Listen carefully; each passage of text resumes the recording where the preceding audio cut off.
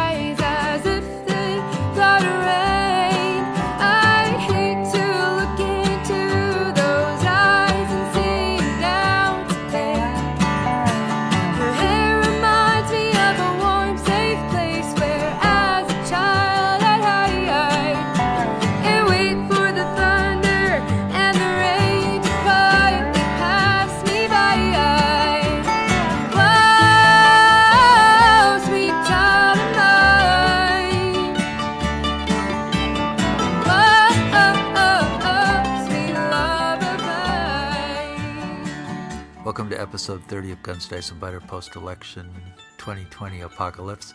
Uh, we start with Kim Kanger, designer of uh, Nemesis, uh, Tonkin, and, and other games on uh, in Indochina. We speak with Roberto and his game group about the great campaigns in the American Civil War, and we end up with a segment of Ed Beach and myself uh, talking about the, our finals and actually doing the final die roll to decide the game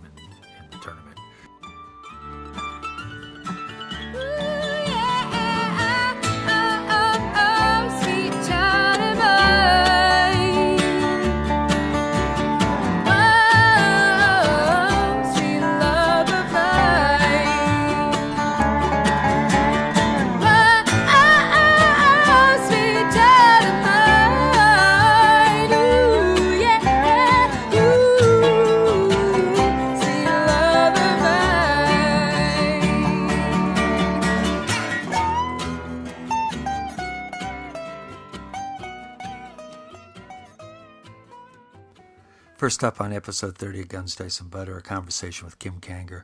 Kim caught my attention when he designed a game called Tonkin on uh, the French uh, Vietnamese War uh, right after World War II, early 50s, until uh, we uh, d- discovered a country called Vietnam. In fact, I'd, I'd read not, not that long ago a book on Ho Chi Minh and the OSS, which was fascinating. So, anyways, got the game, uh, punch counters, set the counters up, read rules, uh, looked at the map, and uh, never managed to play with another human being. So unfortunately, it went on the shelf. I kept saying, I got to play this game, got to play this game. Never did.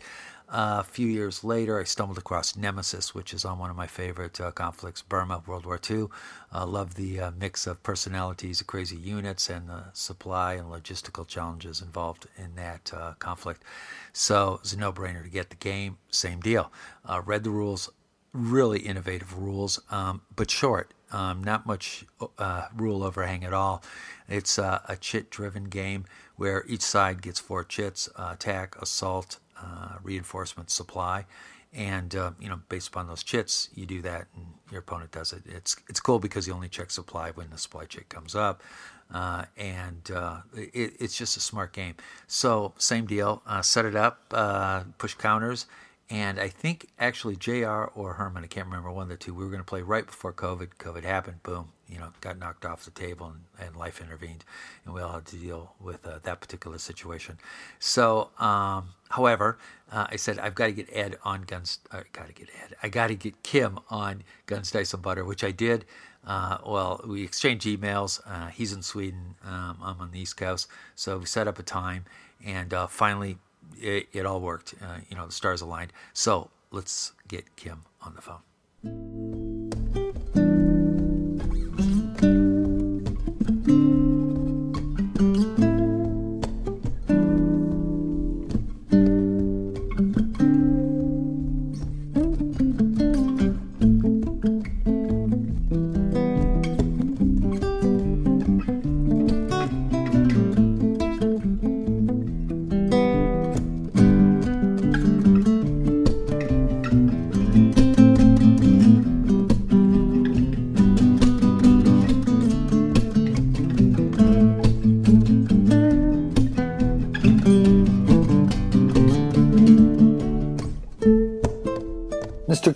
Mr. Doctor. how you doing? Finally. Finally, absolutely. Yeah, I've, I've commented on a few of your games. I, I have all your games except for the Road to Sharon, and I have yet to push a counter with any of them. I've read all the rules. You just you just uh, you just buy them and then you keep them as as, as prices in your shelves. That's exactly. Well, I, I read the rules. They're on topics I'm interested in, and then I call up one of my mates, and um, I think uh, COVID struck or something happened. Uh, it was within All the right, last year, right, right. and it was like, You'll find them on Vassal. So I mean, if Yes. it's like a, a a COVID thing where you can't meet, uh, they're actually quite good uh, Vassal modules for both of them, I believe. So um, that is what I do. I have this playing group here also. So we usually go to like uh every Thursday on a like no uh, this cellar in town Mm-hmm. where you have this playing group. Um, but nowadays, since since March, April, we we we we, we keep it to Vassals. We have this like once a week. We four people, you know, doing try game after game after game, and you know, it, it works fine actually. Absolutely. And I, by the way, I've got your uh, Nemesis module open for Vassal because I'm about to do my first move. Um, All right. yeah, yeah, with my friend Roberto. Um, uh, so we're starting that this week. Uh, uh, I'm just going to do it play by mail, and then you know, obviously go live. Uh, maybe at the end of the turns to trash talk or something else. But uh, yeah, yeah. So so, anyways, I'm the Japanese in there. I'm about ready to. Uh, Nemesis is a bit special. I know that a lot of people, uh, when they when they kind of rate my games, uh, obviously Champion Foods is the most highest rated of them all, and they have this, they have it it, it has its followers uh, clearly. Um, but I regard Nemesis like a like a hidden gem. It's not a complex game as such. When mm-hmm. you do the rules, I, I think it's like 18 pages. Oh, yeah. or something Yeah, like yeah. Absolutely. Or 16 pages. So it's it's not complex as such. And it's basically that you draw four chits. You mm-hmm. know, you choose one and, and then you draw them randomly. And you can do you can do a few things when you draw them. You can attack, you can move, and mm-hmm. stuff like that. So it's it's it's fairly straightforward.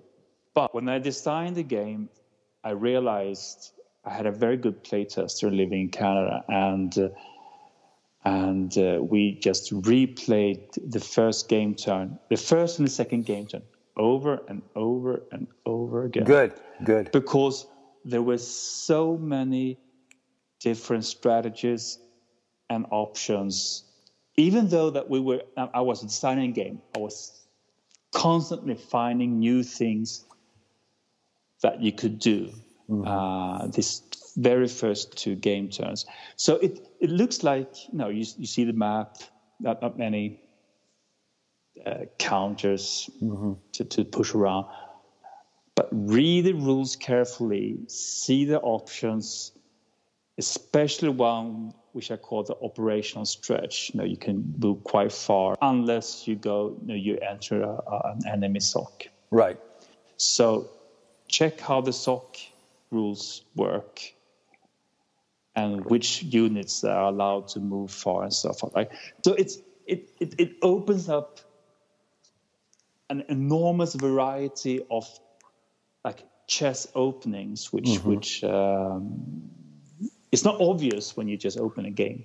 Right. I, Well- I, I just say because a lot of people say, "Oh well, no, I can't really get hand of." You have this superior things in the generals, and, and it, it, it, it seems a bit odd everything, but it it, it, it works well. You No, have to yeah, and the general thing I love. The general thing is like you know some crazy uh, political will, strategic will, um, and Exactly. I, and I also uh, the idea of the chits, um, four chits, one of uh, choices of limiting your operational capabilities, you know, and and what you can do.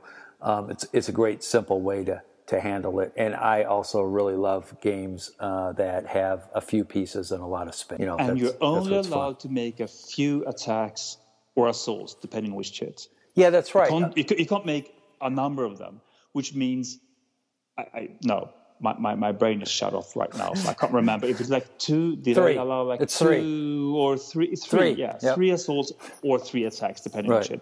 Which means you have to choose where to place them. Do I go for the Americans in the north? Should I try a strategy against the Chinese? Mm-hmm. Or should I just put one here and there, or should I go all in for, for India? I mean, you have three. You have to choose. so it's Yes. Well, there was um, in the, the a fantastic game. I don't know if you played it, the Korean War, War by Balkoski from Victory Games. You know, it was out. I don't know, 34 years already, but it's being reprinted by Compass now. And yeah, yeah. Balkoski does. You, you've played that one?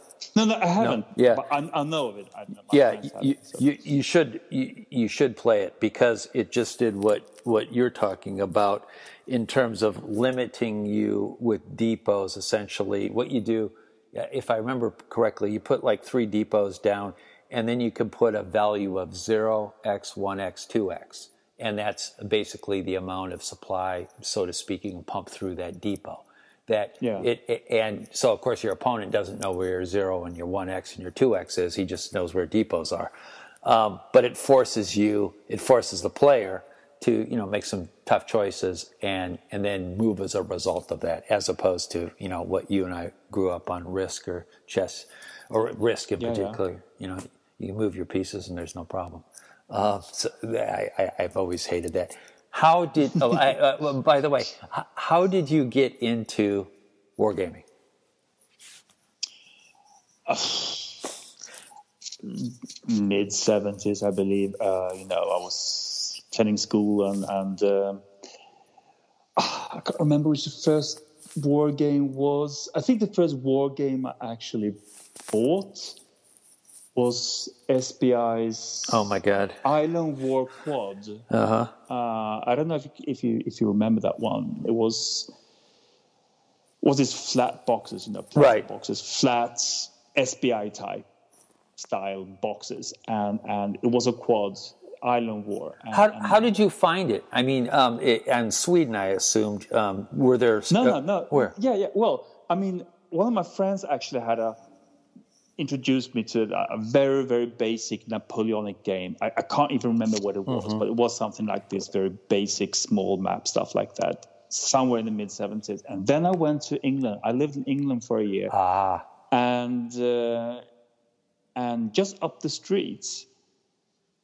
there was like this like what we call like a tobacco shop you know they're selling tobacco and magazines and stuff like and, and during those times i mean they were selling everything. They were even selling some of the games which is seems like totally absurd. I, think of it now. I'm picturing a tobacco shop, dark, um, where they sell tobacco, pornographic magazines, and SPI yeah, games. surely. I mean, you know? magazines Right, and, you know, right. and, and, and all go. kind of assorted stuff that you need. Yes. And you had these games on a shelf somewhere. I- I- exactly. So I saw it and thought, I know what is that? Uh, oh, well, I did know that. Okay, this is one of these new war games that I actually did see some. No, an, a year earlier. Uh, and I think, okay, I'm going to buy that. Um, it seems no, it seems fun. And um, basically, I had like two periods. I, I bought a couple of war games, uh, early no, late seventies and early eighties, and then I stopped. You know, life went on. Right. I actually got rid of quite a few war games. I kept few of them, and I, but I sold most of them, I believe. Um, but then I started to work in a war game shop and being in that environment again. Uh, I just started to you know buy them again. What So a it was war like, game? It was uh, like where? the second Uh, period. So what- there was quite a few years in between that I didn't bother about war games. But then I started to buy them again. And that is a collection that I still have. So that would be something like mid 80s. So at a war game years before. shop where? In in you- you're from In Uppsala. Really? in- they, they had a war game shop there? Yeah, yeah, yeah. Uh, We didn't have a war game store in Fargo, North Dakota. Now we're uh, about uh, probably about sixty percent of your size, um, but I just I, I find that just wild that you had a war game store in Sweden in you know a mid-sized town back in the eighties. No, it's it's it's random opportunities. Mm-hmm. Was this man selling assorted hobby stuff, Yes. including a few games, and he just realized that the, the stuff that was actually selling uh, was the the the the, cartoon, a box Right. with, with, with like SPI Correct. plastic games.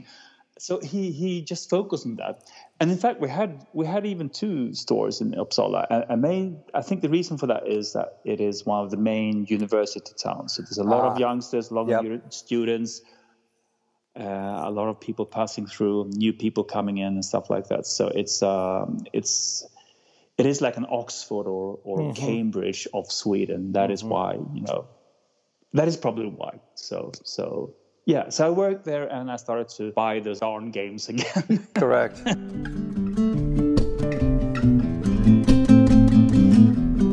In part two of the conversation, Kim talks about how he became a designer and his general design philosophy.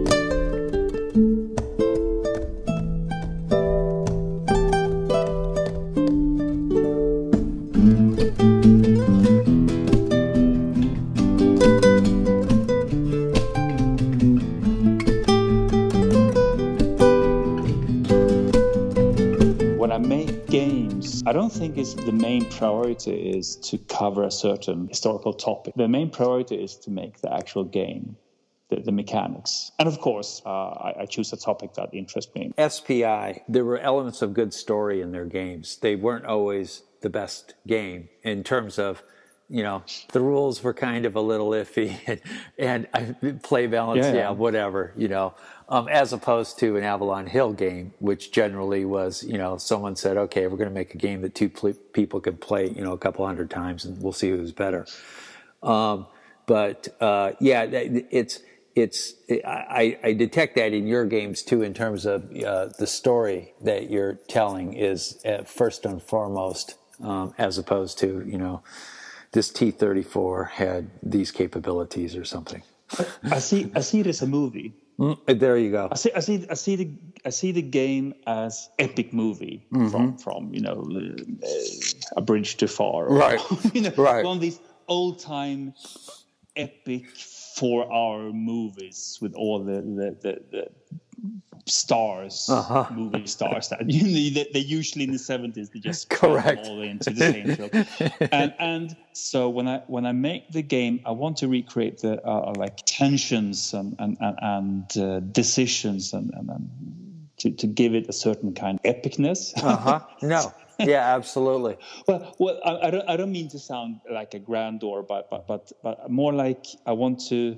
I want to recreate kind of panic and and and and the the, the, great decisions that you have to make to, to give it like an like an epic drama feeling when you, you when you when you play the game.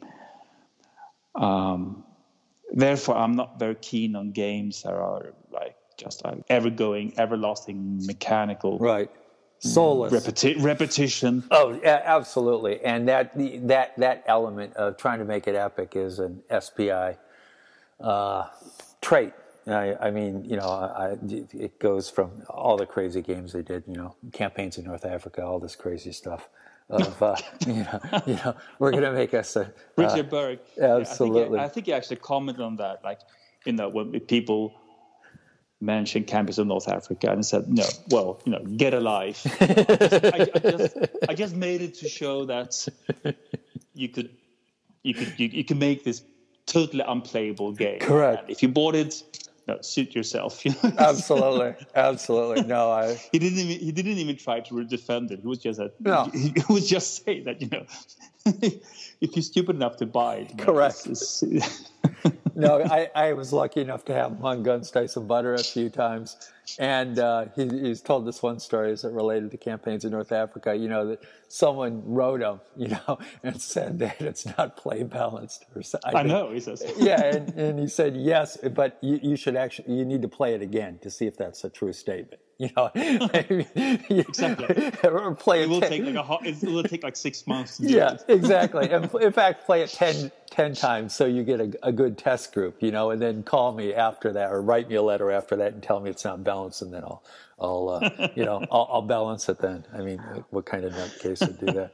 Um, so, hey, uh, um, there appears to be from, um, and then we'll get back to your. I want to talk about some of your designs.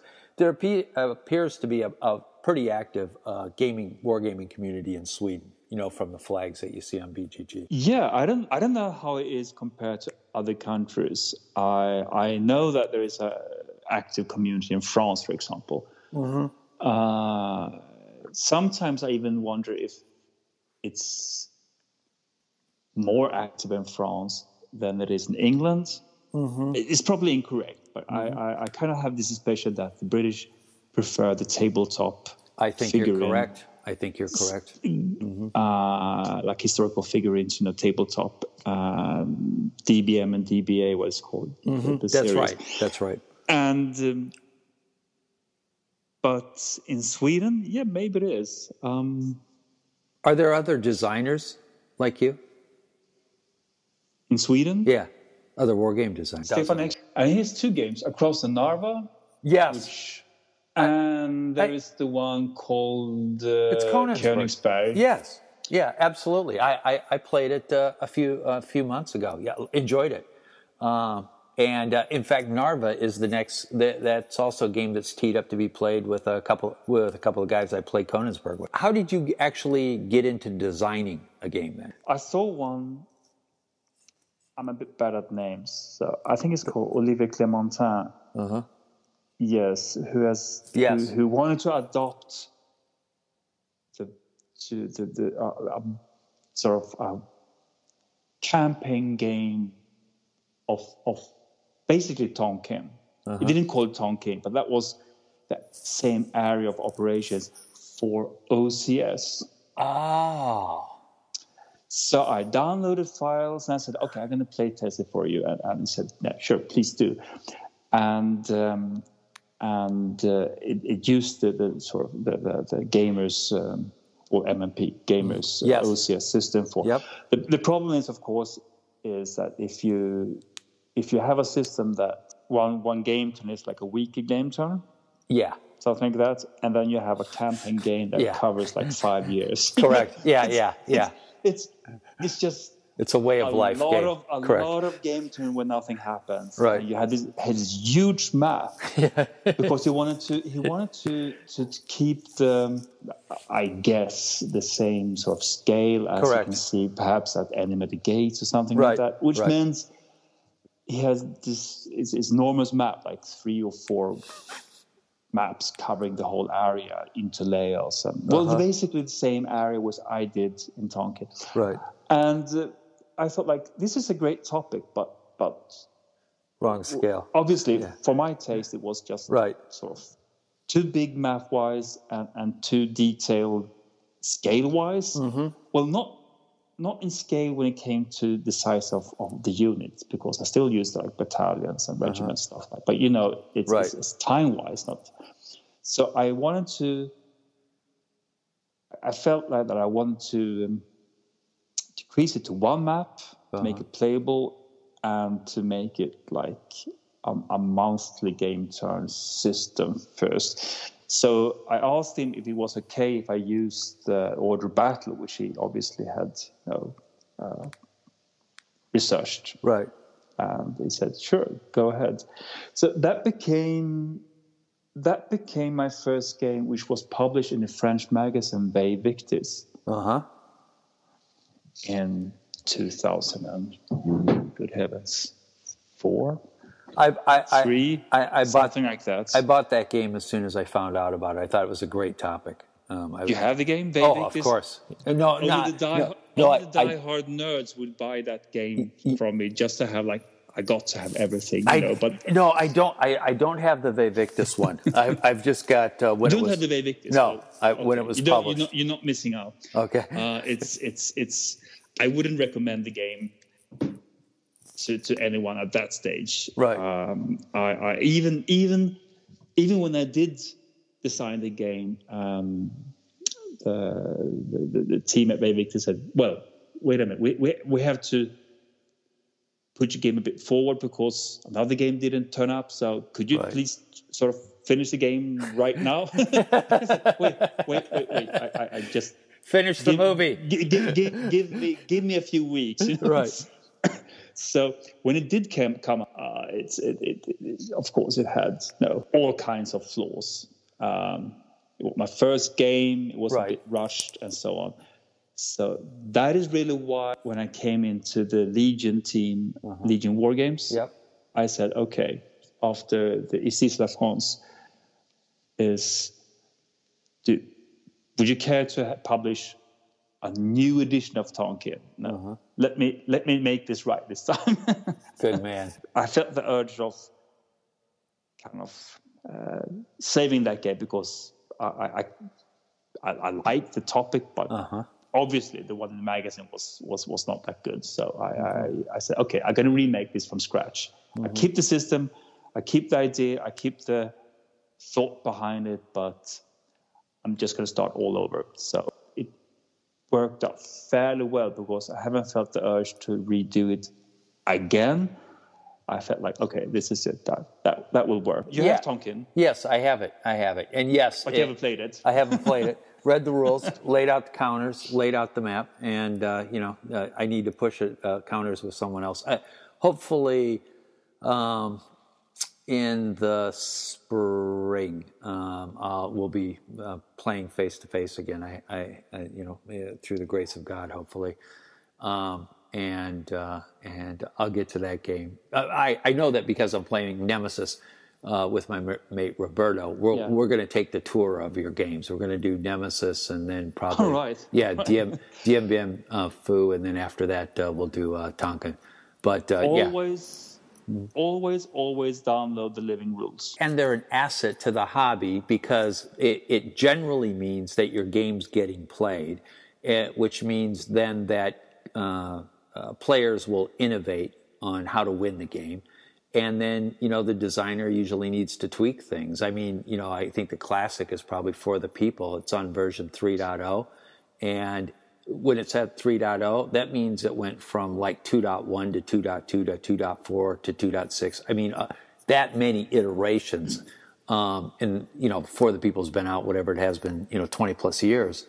Uh, and it mean, people just kept playing it. Same with of Yeah. Glory. The same thing happened with Paths of Glory. Paths of Glory went the, through and huge the revisions. gamers TCS and Oh, OCS that yeah, comes out in new in, in, in, in new versions. And Right. sometimes I've seen that they, they uh, for example, if you have different artillery rules, and they Right. found like in their version two, they, they just skip the artillery rules and make it much more abstract, and then they find out in version three that wait a minute, there was a few good points in version one. So sometimes they sort of kind of reinstate a few previous thoughts and- and- Absolutely. and so they, they keep they keep making they keep changing the system uh, actively. You know, it's Well, that's I don't know if they do it anymore, but but No, and it's uh, it's also obviously our hobby has enabled that to happen in the last twenty year, years with pre-order, uh, with you know the evolution of graphics and everything else. That uh, wh- why not continue to uh, you know try to make the cake better? Um, well, Yeah, why not? yeah. Because because there's enough fans of any particular top any particular game if it's a good game. Um, and they they just they won't let it go, which is a good thing. They just want to you know just just like we watch the same TV series many times. You want to play the same game. You know, you you get comfort and joy from it. So so do it. it's well, that is my hope at least. I mean, I know there are hundreds of games out there, and a, a lot of the most goes out and and uh, played a few times, and they just sink into oblivion after a while, and and uh, and then there are a few ones that keep on and, and, and stay there among people, and and I, I always try to hope that at least a few of my games would kind of stay with people and There you go. keep be playing. But anyway, I have to ask you: you have Sure. all my games to say. Do you have which version do you have of Ici c'est la France and Dien Bien Phu? The first uh, first one of both, except um, about ten minutes later, or ten minutes ago, I ordered version two of uh, Bien. I just ordered version two ten minutes ago. Oh, 10 minutes ago. Yeah, yeah, right before the right before this, because I thought, well, if, once I do the podcast, um, then people will, you know, w- w- generally there's an uptake in the amount of sales of a game, and I thought uh, I, I want to make sure I get one before before before other people do, because and my other one, um, the version one, is in one of my gaming storage places, someplace around the world, because I Version 2 it's much better. I, I, I received a quite of a lot of criticism when I made version 2 of Dien Bien Phu. People said, hey, wait a minute, why didn't you do this already in version 1 and stuff like that? And, and I said, like, well, you know, I, I didn't. I, I really tried to make as good a game as possible Correct. when I did the version 1. And I, I didn't know all the things or no, all thoughts weren't there by that time and also uh, a bunch of new research had been released that I read, um, which changed a few things. And also, after version one had been played and released, there were a few balance things that had to be corrected, and uh, I there it, there ac- there is actually a kind of version two for the first edition that you can download. Uh, it's called 2.4. But when I want, when it was time to reprint it, I, I said, okay, let's not just reprint the old one. Let's let me let me hit the subject, the, Cool. the topic once again. Doing that, giving me the opportunity doing that, I, I wanted to address everything I, I could find of. It's, it's no use of addressing half of it. So I addressed a bunch of new things, which came with the result that I had to make a new map because there were a few things that had to be changed. There were uh, some completely new counters, quite a few of them actually, and uh, the, the play rates changed, the rules book changed, of course. So people said, "Okay, will there be an update kit?" And I said, Ugh. "Well, I'm sorry, Right. just just buy the new game because everything except the dice are updated." yeah, absolutely, and and, Even and the box. Uh, yeah, uh, even the box. And, you know, I think some people think that, you know, like designers are doing this to make more money. As you know, you know, you make about, uh, you know, a few pennies an hour. Um, Yeah, and, and we're not doing it for that reason. You know, designers do it because the, it's, it takes a certain type of personality to put yourself out there and want to do a game, a movie, a book. And the, the idea that we get to have a second bite at that apple in our hobby, I think is just fantastic. I, I'm, I'm so glad you, you, you, you did it again is to say you just, it kept bugging you, right? You're like, but it could be better. And I know how it could be better. Or as you said, there's new research and it's like, uh, it's not quite, you know, it doesn't quite, quite show the story as it probably happened. So back you go to the same, same apple. So if you would compare the two editions, you will find quite a few you know, um, alterations, quite a few differences. And uh, yeah, as you say, you can you can accuse designers for many things, but you can't accuse them for making money. So it's it's it's, it's Yeah. just Yeah. it's, it's just not a business where you make any money. do you do all the graphics yourself? I do all the graphics. Good yes. man.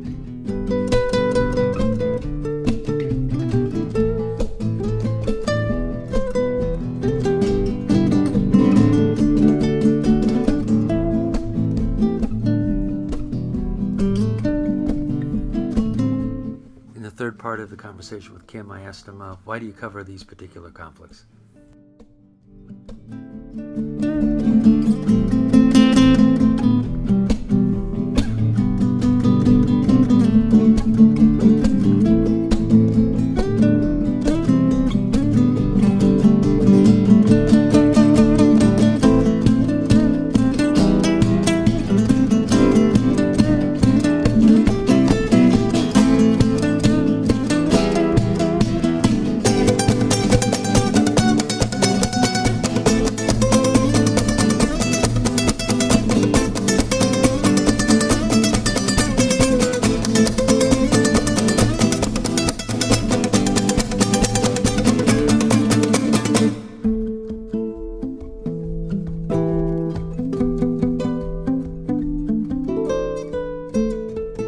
Why these conflicts? Um, you know, you're you're designing in a particular space. They have, I think, uh, a co- common themes that run through the games that you've published.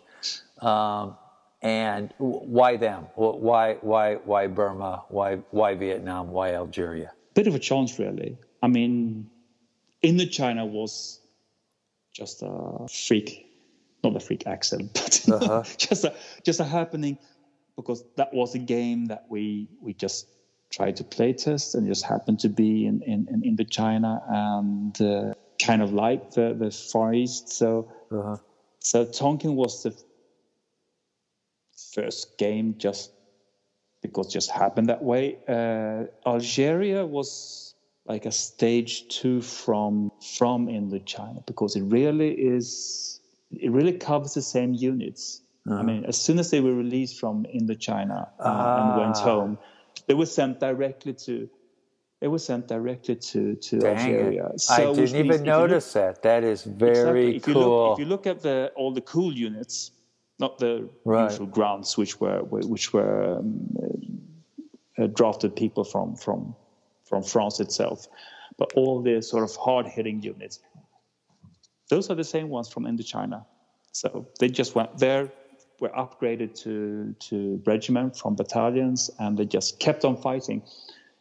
Um, so this was like scene two in the same long play. Very cool. sort of I've just made scene one, uh, stage one, or uh-huh. something. And right, I right. just have to, I have to continue. And then, of course, when I've done that, I kind of recoil back to Indochina. And said, okay, having done Indochina, I, I have to make a game of Bien Phu because that is the that is the main epic battle for yes. French.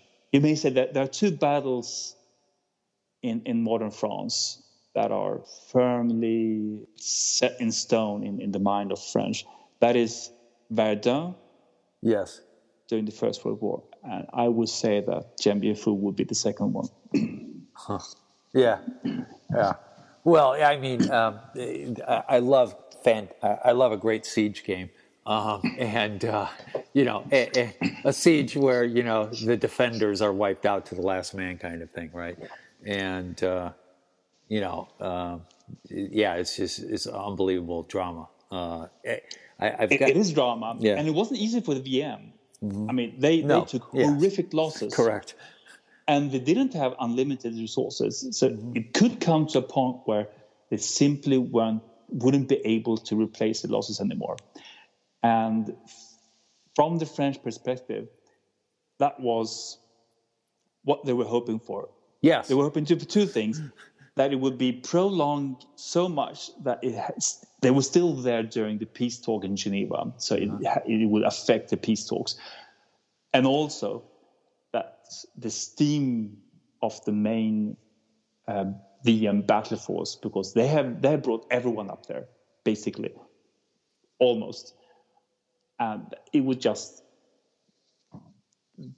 vaporize, or it would, it would just sort of end uh, and it wouldn't have and they wouldn't have uh, any force left to, to, to make the last. Um, we're going to go make a bastion, a castle, um, like the Romans. Um, and we're going to go put it on the northern frontier in Germany. And uh, there's no way it can fall. It's impossible to fall because they don't have the technology. We have the superior fighting spirit. We're smarter. We have all the technology. We got better command control. Um, we got everything. It's impossible the castle can fall, and and and we will bleed them white, right? We, we will bleed them and destroy their their will to fight because they'll see the superiority of our our fantastic castle, and it ends up having the opposite effect. Exactly. it's it's just brilliant, right? And you can trace, exactly. trace a number um, of wars just to that of the breaking of the strategic will of the yeah. invading I mean, the power. idea wasn't that bad, actually. I mean, mm-hmm. it, it, could have worked.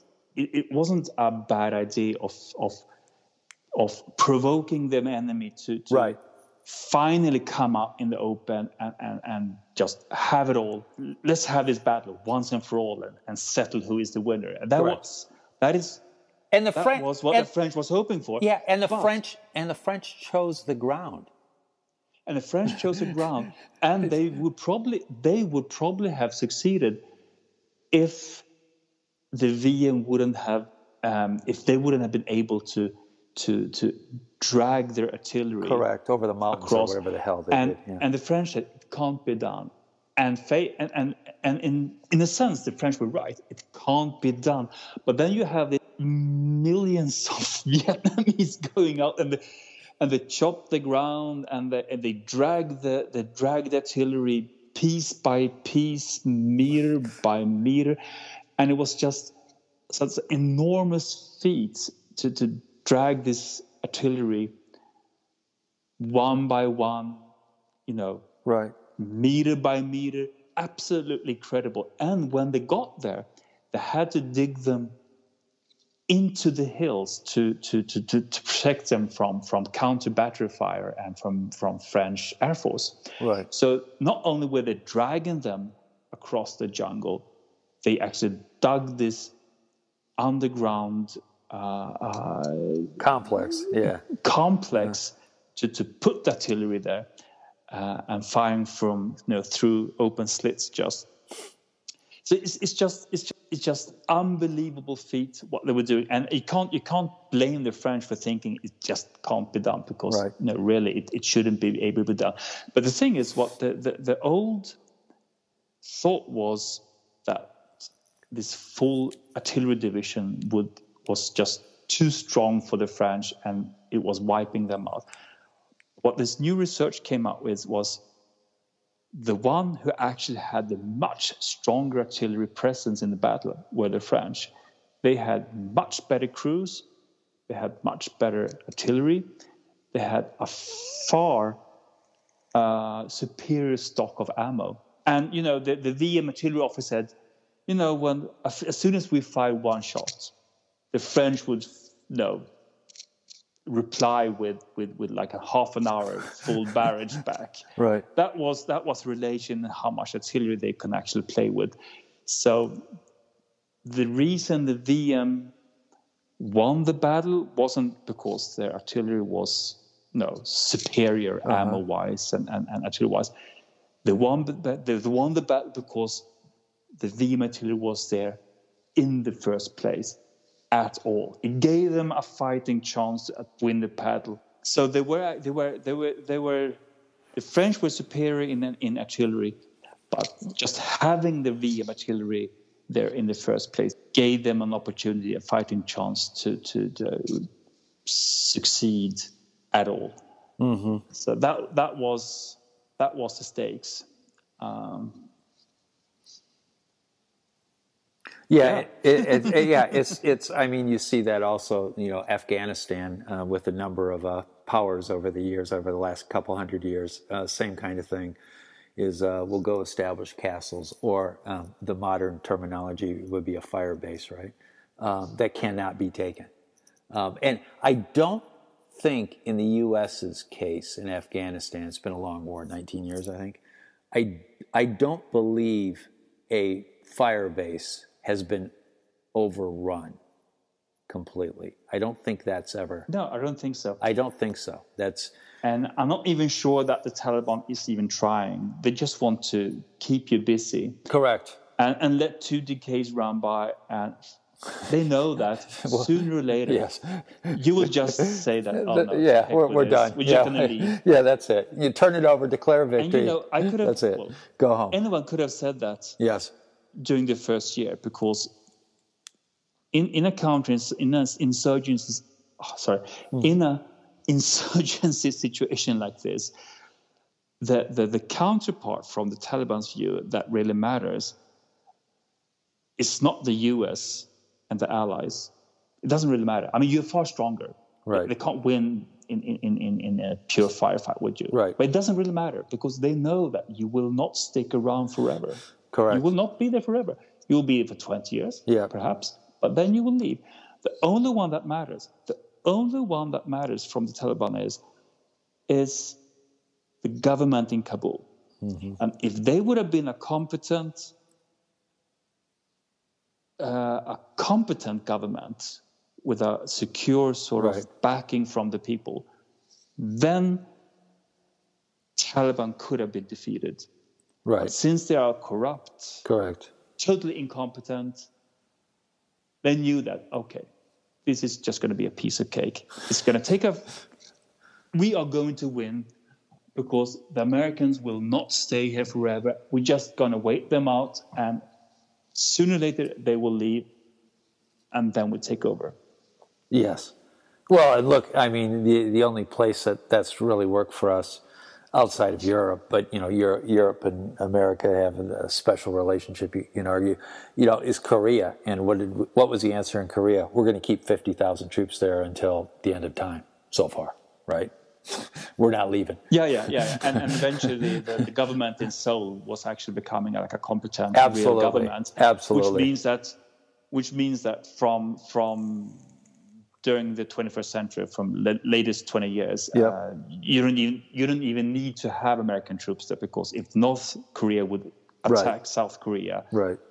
and we're not speaking of the nuclear option, Right, Because right. that is a That's a different option. that, that, is, that, is, that is a debate of its Yeah. own. But just normal militarily wise, Right.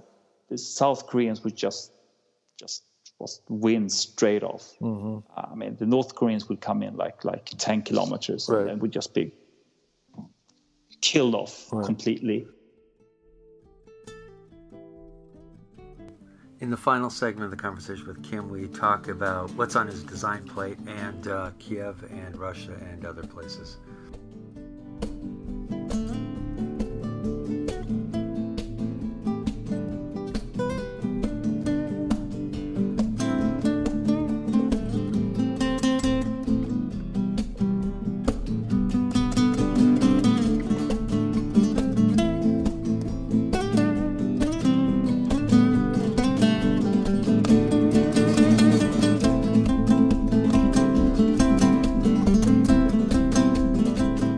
What's next on your uh, design agenda? It is the complete the a game called Heart of Darkness. Uh, it is it is close to be done. Uh, there's always this last period of fixing things and finding bugs and, and, and clearing out whatever anomalies you can find. But it's an adventure game. It, it's not a war game. I, it's, it's like okay, I'm going to make a game that actually maybe can be sold in, in, in some numbers. I don't know Good if that's going to be true. Yeah. but I mean, it's it's like a more Eurogame-ish. Right. And I do have the old classic Avalon Hill Source of the Nile. I don't know if you know that one. Uh-huh. No, I yeah, I'm familiar with it. I haven't played it. You- you recognize the title yep. perhaps? Yep. Uh, and I, I have it, and I it's, it's it's a great old game. I mean, you it, it's you, it's you have this map of Africa which is just blank uh, except for the coasts. and it has hexagons, and you, you it would supply with crayons. so, it's, Uh-huh. so what you do is you have this expedition, and you walk into you know, hex by hex, and you draw you draw cards which would be random events and, and you also use cards for for for deciding uh, terrain and, and, and, and lots of that things but anyway as soon as you decided which terrain it was you had these crayons that you actually drawed on the map so it Uh-huh. it has this plastic layer on so you Right. could wipe the map clean afterwards so so the idea was the idea with the with with Source of Nile is um, it was good and it was fun, and because you, you would discover things and you know, things would happen to you, and the expedition would go would go south, Everything would go south. But I thought like okay, but mechanic wise, you, you have to upgrade this. You have to completely redo the whole game mechanic uh, idea. So I wanted to make hopefully fun kind of exploration game of Africa. I don't know if it's going to be out before Christmas. I really hope so because it's been overdue. In fact, I, I started on it before I made Nemesis, and Oh, then wow. I made the mistake of starting with Nemesis. Uh-huh. And when it comes to me, I can only I can only focus on one game at a Well, time. of course. yeah. Um, what are you doing So- um, after Heart of Darkness? What's the next war game? Barbarossa game. Oh, But- wow. Yeah, yeah, no, no. It's, it's, You're a brave man. I, I, I quickly jump from topic to topic, but it is it is I'm actually focusing on Army Group Center with the add-on that I'm I'm I'm, I'm keeping a bit a northern part of Army Group South. I want to have Kiev. I want to have south of the Great Marshes. So, Uh-huh. You know, because you have this you have this drama around Kiev, and then you had Guderian coming from the Kiev area up to Moscow from the south. So yeah, And- I, and- I, I, I keep the whole area. And Kiev is one of the best cities in the world. I love it. I, I lived there for a couple of years. I love the place. You have? Yeah. Oh, in yeah. Kiev. Yeah, absolutely. Yep. Back in the day, As- nine- as- 95 through 97. It was it was the Wild West. Uh, it- totally. It was a fantastic time. And I had a fantastic crew. So so anyways, uh, after the first day I was there, um, I said, um, you know, I felt that like um, someone had opened up a door into, you know, a spy novel. And I said, I'm never going back. And uh, so I ended up being there for a couple years. And then, you know, that I've been doing international stuff ever since. I haven't been back. I, last time I was in, uh, um, I worked um, for some people in um, beautiful Moscow um, for a while. And um, uh, that was about eight years ago. I, I, I won't go back until you know things change, so to speak, politically. Um, Yeah, yeah, yeah, yeah, yeah. but um, because It's too. yeah, it's Yeah. it's and when we were there in the uh, mid '90s and late '90s, During and- Yeltsin's time, or yeah, Yeltsin's time in in Moscow also, besides Kiev, and um, and then also even under Putin for a while. Um, you know, um, I worked for for uh, um, uh, I guess an oligarch would be the way to describe him and his family. Um, and uh, yeah, you know, but yeah, yeah, oligarchy. I mean, who, Times are which one of those? um, the one that owns uh, uh, MTS um, Sistema um, and that family. So there, there's Yeah, yeah, yeah. there's. Uh, anyways, um, I, I'm probably, I'm probably going to edit. edit neighborhood. I mean, yeah, I'm going You to had these people in families and and, and, and Yeah. mafia, and, and you know, you, everything. you one has one had to, to All of the to, above. uh, Yeah. One had to be careful in some sense. Yeah, you yeah, know, yeah, yeah, yeah. Step Yeah. on the wrong toes and Oh yeah, it's um, you know myself and my mates though we, we've uh, we worked uh, historically uh, Beirut. We worked for a while. Um, oh, you've been to Islamabad. Beirut also. Yeah, Islamabad. Um, if there if there's been a place over the last twenty plus years that you know things have been happening, um, things have been changing. Um, there's been you know conflicts. Um, then uh, then You've been there. I've been there. But um, for the last, uh, but for the last, I'm retired from that business. Hopefully, um, uh, for the last five years um, or so, I've been uh, based um, in uh, Nassau, uh, the Bahamas, and um, I, I say that it's payback for Islamabad, Beirut, and Moscow, and other Oh, right, places. right, so, right. so I'm. Re- Beirut is a wonderful city. It's fantastic. It has, you know, it, it, it's Oh. always good to be there during sort of the calm period. Yeah. When it's not calm, you have It's- then it's not good. No. Um, no, but then again, you have this special Beirut spirit where, Yeah. where even though you have all these fractions and and, and, Yeah. and, and, and, and enmity all the time, uh, you, you still have the Beirutians, which feel like, you know, we, we, we're still going to have a good time as as far as we can, you know? It's, Right. it's- No, and it's um, um, Beirut. Uh, yeah, it, it's an absolutely fantastic place. Um, I can't recommend it enough. But as you said, the key is picking the right cycle. And so we we worked um, after the first Civil War, and then before, yeah, yeah, when it was rebuilt and, Yeah, and right after that. period. and then um, and then we worked after um, the Israelis came in. When was that? 2006, seven. Yeah, someplace in there. It all blurs together.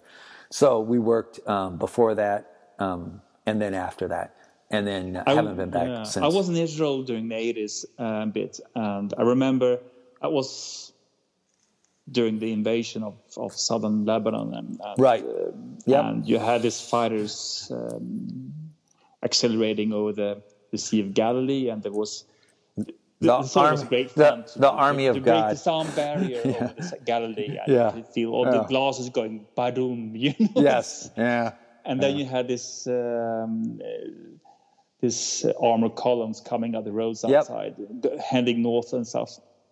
So it's it's there also was. a crazy country. And then I've been a lot of in Africa also. So it's I have this. Where in um, Africa? Eastern Africa, Southern Africa. You had have you had the Uh, privilege quick, of a quick visit in Western Africa, also Senegal, but but but Oh. mostly mostly East Africa and Southern Africa. You know, Zimbabwe a lot, and, and have, uh, have you had the privilege of uh, spending time in wonderful Lagos? In Lagos. just, just a quick stopover, and changing plane. Good, good, good, good. That yeah. was that was my only sort of. yeah. Have you been in Lagos? Oh yeah, yeah, yeah, yeah. Yeah, well- Nigeria is a tough, a tough go. Um, lots of stuff going on there. Um, in Beirut, um, one of the things I remember when I first got into Beirut, where I fell in love with the city, is um, so uh, you, you got to sort of you the various powers that be kind of kind of got to make sure you're it's okay for you to be there. Is the best way to describe it, right? Um, and so uh, um, I got picked up the, at the uh, airport, and we were driving um, to the city center. So you go through the parts that are controlled by, at that time, it was Hezbollah God, or uh, Army of God, Hezbollah, right? Um, controlled the southern part of the city, if I remember correctly. Then I, Yeah, right, exactly. And so, anyways, we went through, um, it was late at night, and we went to one of these roundabouts. And um, I don't know, there was some, you know, Army checkpoint, something going on. And I remember that roundabout, and this is why I fell, in love with the city.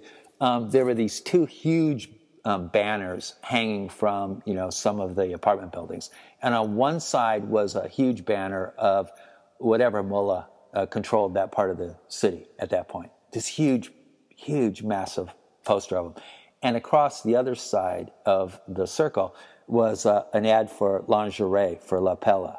So this Italian supermodel. Sorry this, this road was obviously some kind of border. I, I, I just said, uh, this is my city. Okay, I, th- I'm going to love this place because I like, you know, contrast and complexity and, and craziness.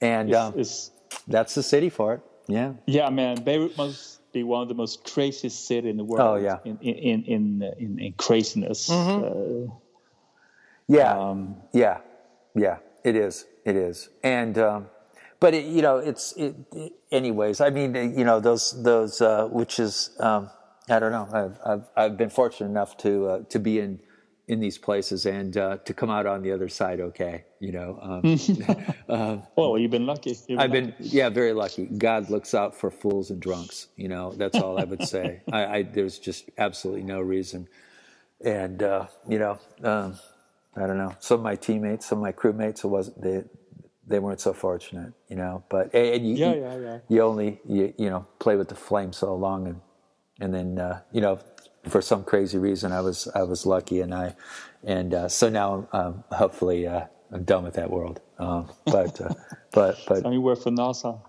Yeah. no, you- who, who do you work for? exciting. Who do you work for? exciting. Oh yeah, now now I work in NASA. That's right, and um, um, I have a fantastic team, and uh, we got a fantastic. Yeah, I just love love it. So, um, anyways. Uh, Anyway, back to yeah, war games. Yeah, back to war games. We, we have to we have to think of, of the listeners also. I think, oh, I, I suppose I I, I, I get, made get, get back to, get back to the topic. You know? Yeah, that's anyway, right, that's right. Uh, Army Group Center. Yes. and it will probably be a game only covering forty one to to to New Year's. Mm-hmm. I, I simply want to make like a race to Moscow. Can you take Moscow? What I have bugged me about the existing Barbarossa games. there is, you go. What is, is it? is I don't think they really taken account to the, the crazy supply situation that the Germans were heading. I mean, they, they, were- they were making this enormous attack. They were cleaning the table immediately in the first like month, but the situ- the, the supply situation was absolutely um, uh, well, you, you might say crazy because I mean, they, they, it is a total miracle that they were they actually reached Moscow historically, considering the enormous problems they had of getting supply oh, into Oh, this Absolutely. vast hinterlands. And if you see the games, that it's it's like, you know, you just connect to the closest to road, or or everyone connects to a railroad, and and that's fine. And I said, there's no way, there's no way you can. And and also, also the one of the main attrition factors for the German army was not so much in direct combat contact with the Russians. Of course, it was, but I mean, it was simply of driving this endless amount of miles eastwards into uh, along road, non-existing roads, Correct. simply broke down like 50% of the mechanical force. I mean, uh, you have you have this uh, um, motorized divisions and you had this panzer divisions and mm-hmm. and and they would be in a state like in in in, in August where 50% was gone. Not so much because due of, of, of hard combat, but simply because they had broken down simply by driving there, simply by getting there. so anyway, so I want to make a game where you race towards Moscow, you start strong and, and, and ever sort of controlling, and, and by the main adversary would be the Russian army, of course, but also simply attrition of moving and attrition of get, not getting supply. that's so that's yeah, and, and, that would be a unique spin on it. I think you're totally spot on. Yeah, the the idea that you can just drive your panzers to Moscow like you can in every game. Oh, you have to convert one rail hex each turn. I mean, just it's like, come on, man. Um, yeah. and, and, and, which means that you have the Panzer Division, which means you you if if if they would be full in full strength, you would reach Moscow without problem. But mm-hmm. the thing is, in game wise, as historic wise, you have to stop in mid August and just replenish because there were there were just scrap left right, right. of those divisions. So unless you do that, I mean, game wise, you still ha- you have to stop as well, just to you know, get those replacements up, the few ones you have, and just rebuild your army to make the second push. Um, well, that that idea then of of having a gamer choose when they do that at uh, versus trading off of, of uh, uh, taking, I guess, taking and, and holding um, Moscow what through the winter, or is your idea to end in like I don't know. I mean, the Russians historically, we, I mean, if you if you look at what would what would really make the Soviet give up, and I would say probably nothing.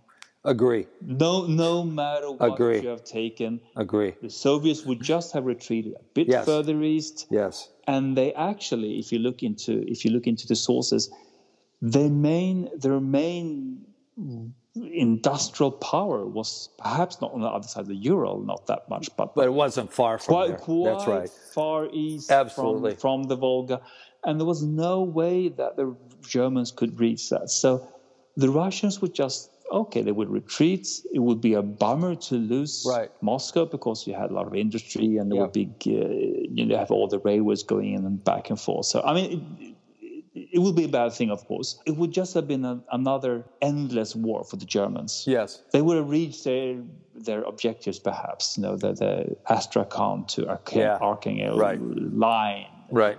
But it would have been a, a constant war of attrition uh, where where the Russians would have all the industrial power just behind them, and the Germans with lesser industrial power would have to would have to would have to, to get it all the way from from uh, from Germany through Poland and you know, through all these vast areas of, of Russia and so forth. See, part part of the deal. I mean, there's a number of games where you don't have enough um, layers of the effectiveness of a unit. So in the great campaign or great uh, battles, uh, the Alexander stuff that Berg and, and, Herman did, you have like cohesion hits and they build up, yeah, right? Exactly. And also Third World War has um, also a bunch of cohesion sort of hits, efficiency hits, where from one to seven, and that that it, what we tend to do in war games is um, there's two steps flip it and then build it back. And that, that, that, obviously you know we're just doing that to simplify things. But um, yeah. units um, you know carrying around these these degradations in their efficiency all the way to moscow right and only be able to get some of it back that'd be a different game than what we usually play exactly mm-hmm. cohesion or, right. or fatigue Something. when it comes to infantry. Right. I mean, they were walking day and night for know, like weeks and right. weeks. I mean, they were they were like shadows when they actually managed to reach the Russians somewhere along right. Smolensk because they walked. I mean, tr- try it yourself. Like walk from yeah, the no, good to Smolensk. It's like a. It's it's. No. I mean, they were And then you got to there were toss in. instances where, where German soldiers were actually committing suicide because they were just They're done. so Yeah, tired. they totally just couldn't. done. They, they couldn't. They couldn't take it anymore. So, um, so you have fatigue, you have cohesion, you have uh, The beautiful weather. sort of mechanic mechanical attrition. You have whatever you have things. So so uh, And I don't know how to make this And, and mechanic wise in a smooth way, but you'll somehow figure it out. I'll, I'll figure it out. Yeah, there's there's and also great campaigns. The American Civil War uses fatigue levels on their troops, and then as the fatigue levels go up, they also disorganize, and then you take you know negative modifiers. It just gets worse, and it takes a while to build to get them back to normal. So so and that's part of the problem I think with the Eastern Front games also as a rule of thumb is it's too easy to build the unit back to full strength and you know they're ready to go again. It's, just it, that it to me is it, it just just rings really hollow. How are you going to um, handle um, you know their Fuhrer's uh, wonderful intervention in terms of you know go in this direction and not that direction? I know, I know, I know. Uh, I know. I, I- usually hate those kind of things. I mean, if you if you play a game and then you say you, you draw a chit or, or you, Mm-hmm. you it on the table and says, okay, you just have to divert right. twenty percent of your force off the map to the north or whatever. It's like, okay, why why am I playing this?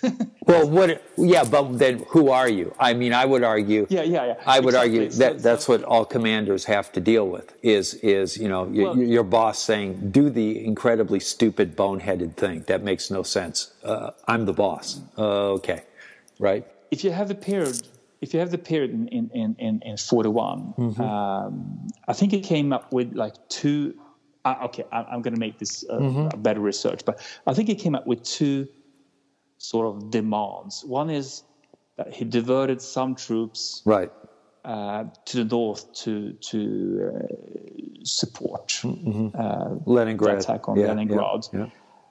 and vice versa when he when he stopped that troops were actually going back from Leningrad including some of the some of the mechanic so the the, the, the panzer forces of armor group north to support the drive to to Moscow so it was like you know support back and forth a little bit but the main thing was of course diversion towards Kiev. The, the time the time lost in that operation, of course, it was this huge prize with all these Russian units that was uh, was uh, trapped in this pocket. But then you lost the precious time heading for Moscow and so forth.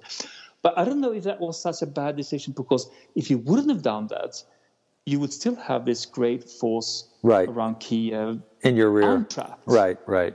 untrapped in your rear Yeah. and blocking and blocking the armor group south, the northern part of armor Right. group south.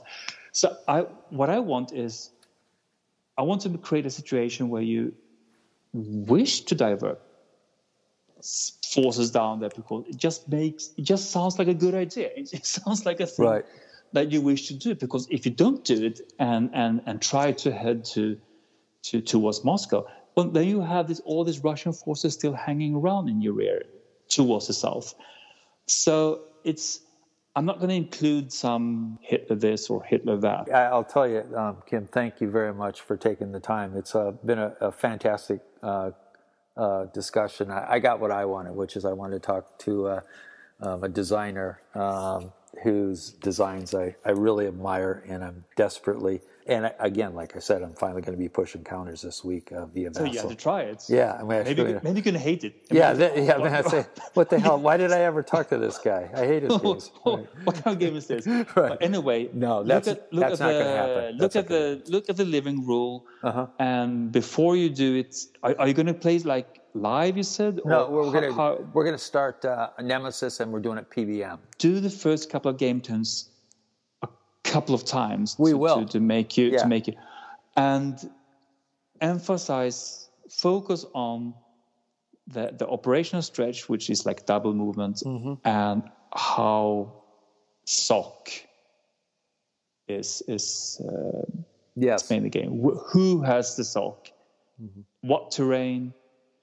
And the I, I can say this: the most important number on the counters It's not like strength or movement. It is uh, the quality number. Mm-hmm. I think it's called quality.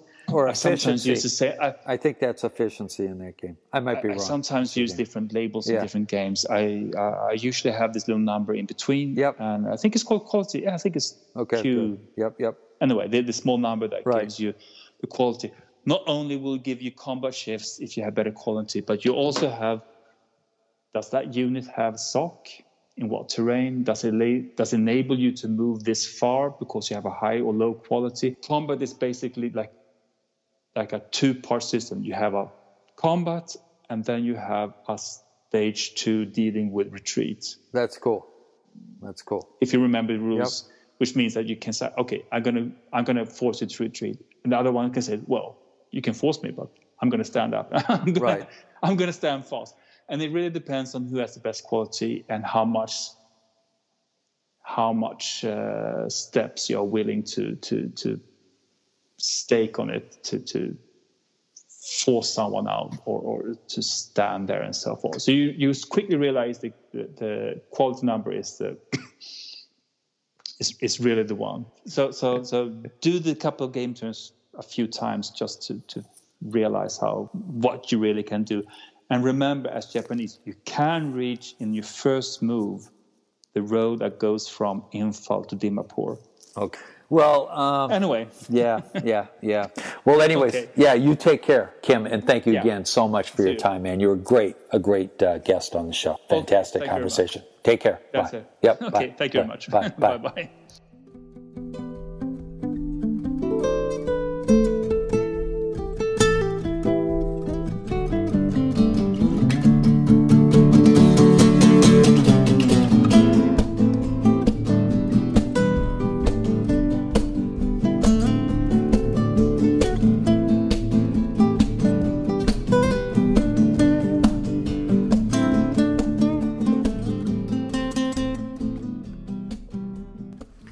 Shout out to Kim for uh, being on Guns, Dice, and Butter. Look to have you back on again soon. Uh, as I indicated, I'm playing uh, Nemesis right now with a friend of mine, Roberta, who's actually the moderator in the third segment of this particular episode.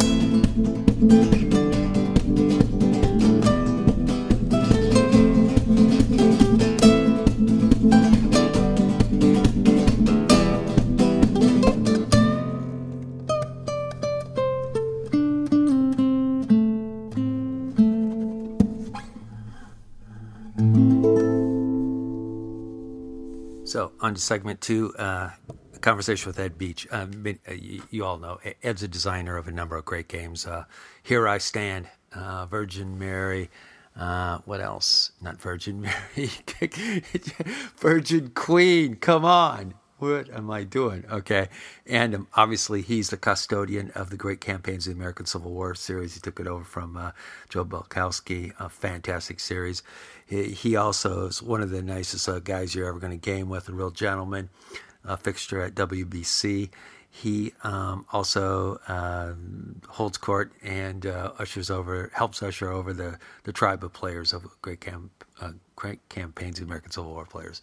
So, uh, anyways, um, Ed and I uh, have played a number of times for the people. I helped play test his Here I Stand back in the day um, and Great Campaigns of the American Civil War. We actually met in the semifinals of the tournament at WBC uh, last year, and he totally cleaned my clock in the single day um, scenario of Gettysburg. So, um, as the current tournament went on, uh, the online tournament, uh, which uh, has uh, went on for over a year, that's right, I think a year and a half, um, it ended up that he and I got paired off in the finals. And uh, so Ed, being the gracious gentleman he is, uh, allowed me choice of sides. And so, of course, I took the Union again, who he had cleaned my clock with. And uh, this time, though, we were playing, I think it's the six day scenario, if I remember correctly. It all blurs together. The Pipe Creek uh, scenario, maybe it's five days. And it's fantastic. It's the alternative setting of how the cam, how the battle and the campaign would have ended up if um, McClellan would have had his way. That's right. Maybe I, yeah, that's right. And it's uh, few units, uh, lots and lots of space.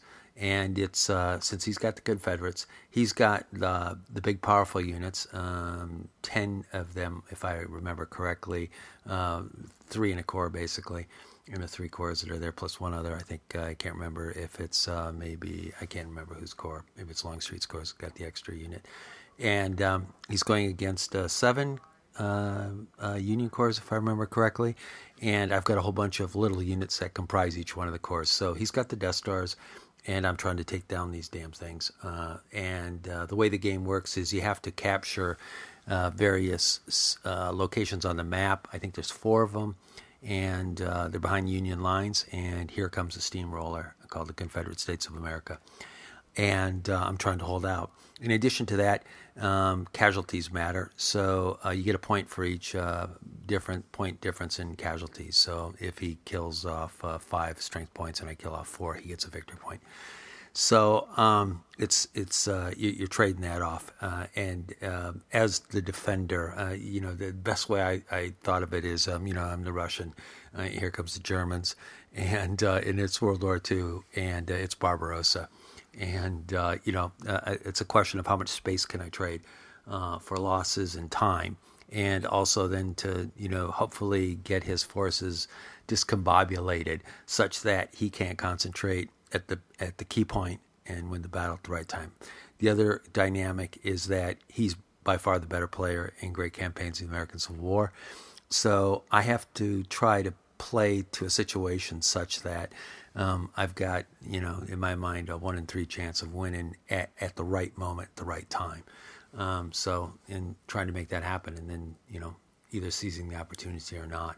So we'd been playing, and uh, we'd gotten to the point where we had only uh, a, a, move, a couple moves left, and I said, "Hey, let's get on the podcast. And what we'll do is we'll do, we'll get to the point, we'll do the last move, come down to the showdown battle, and then let's roll die. And neither you or I will know what the result will be. We'll capture it on Guns Dice Butter. We'll talk about the game, and you know we'll, we'll trash talk as usual. So, anyways, that's the next segment. Sit in my car outside your house. Why? I can feel the heater coming round. I go to put my arm around you and you give me a look like I'm way out of bounds. Well, you let out one of your bored sighs. Well, lately when I look into your eyes, I'm going down, down, down, down. I'm going down, down, down, down. I'm going down, down, down, down. I'm going down, down, down. We get dressed up and we go out. Oh, baby, for the night. We come home early, burning, burning burning in some firefight. I'm sick and tired of you setting me up, oh, setting me up for just a knocker, knocker, knocker me down, down, down, down. I'm going down, down, down, down. I'm going down, down, down, down. I'm going down, down, down.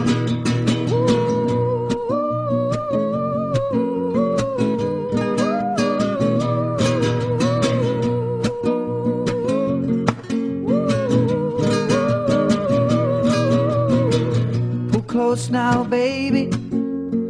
But when we kiss, I can feel it down. I remember back when we started, my kisses used to turn you inside out.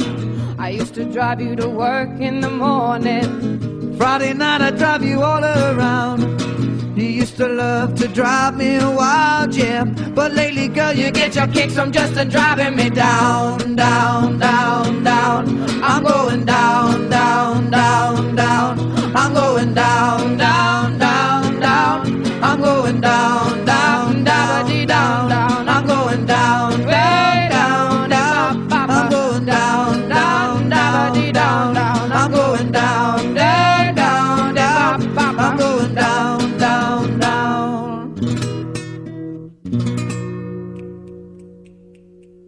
So we've had a barn burner. It's gone. And, what have we been playing?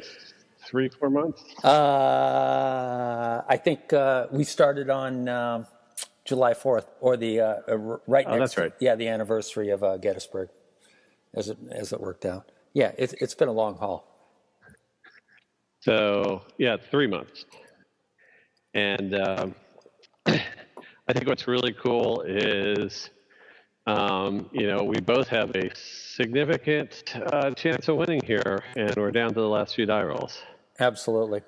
Absolutely. I, I thought I had it in the bag. Let, let- we'll go back to day one, but I thought I had it in the bag on day five and until um, Ewell uh, got jet rockets on his ass.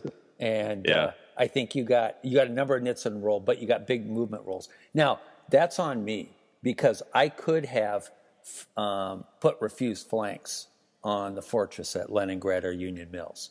I, Right. but I, I, I, I can't recall if I had a chance to do that when you got the initiative and then moved Ewell a bunch.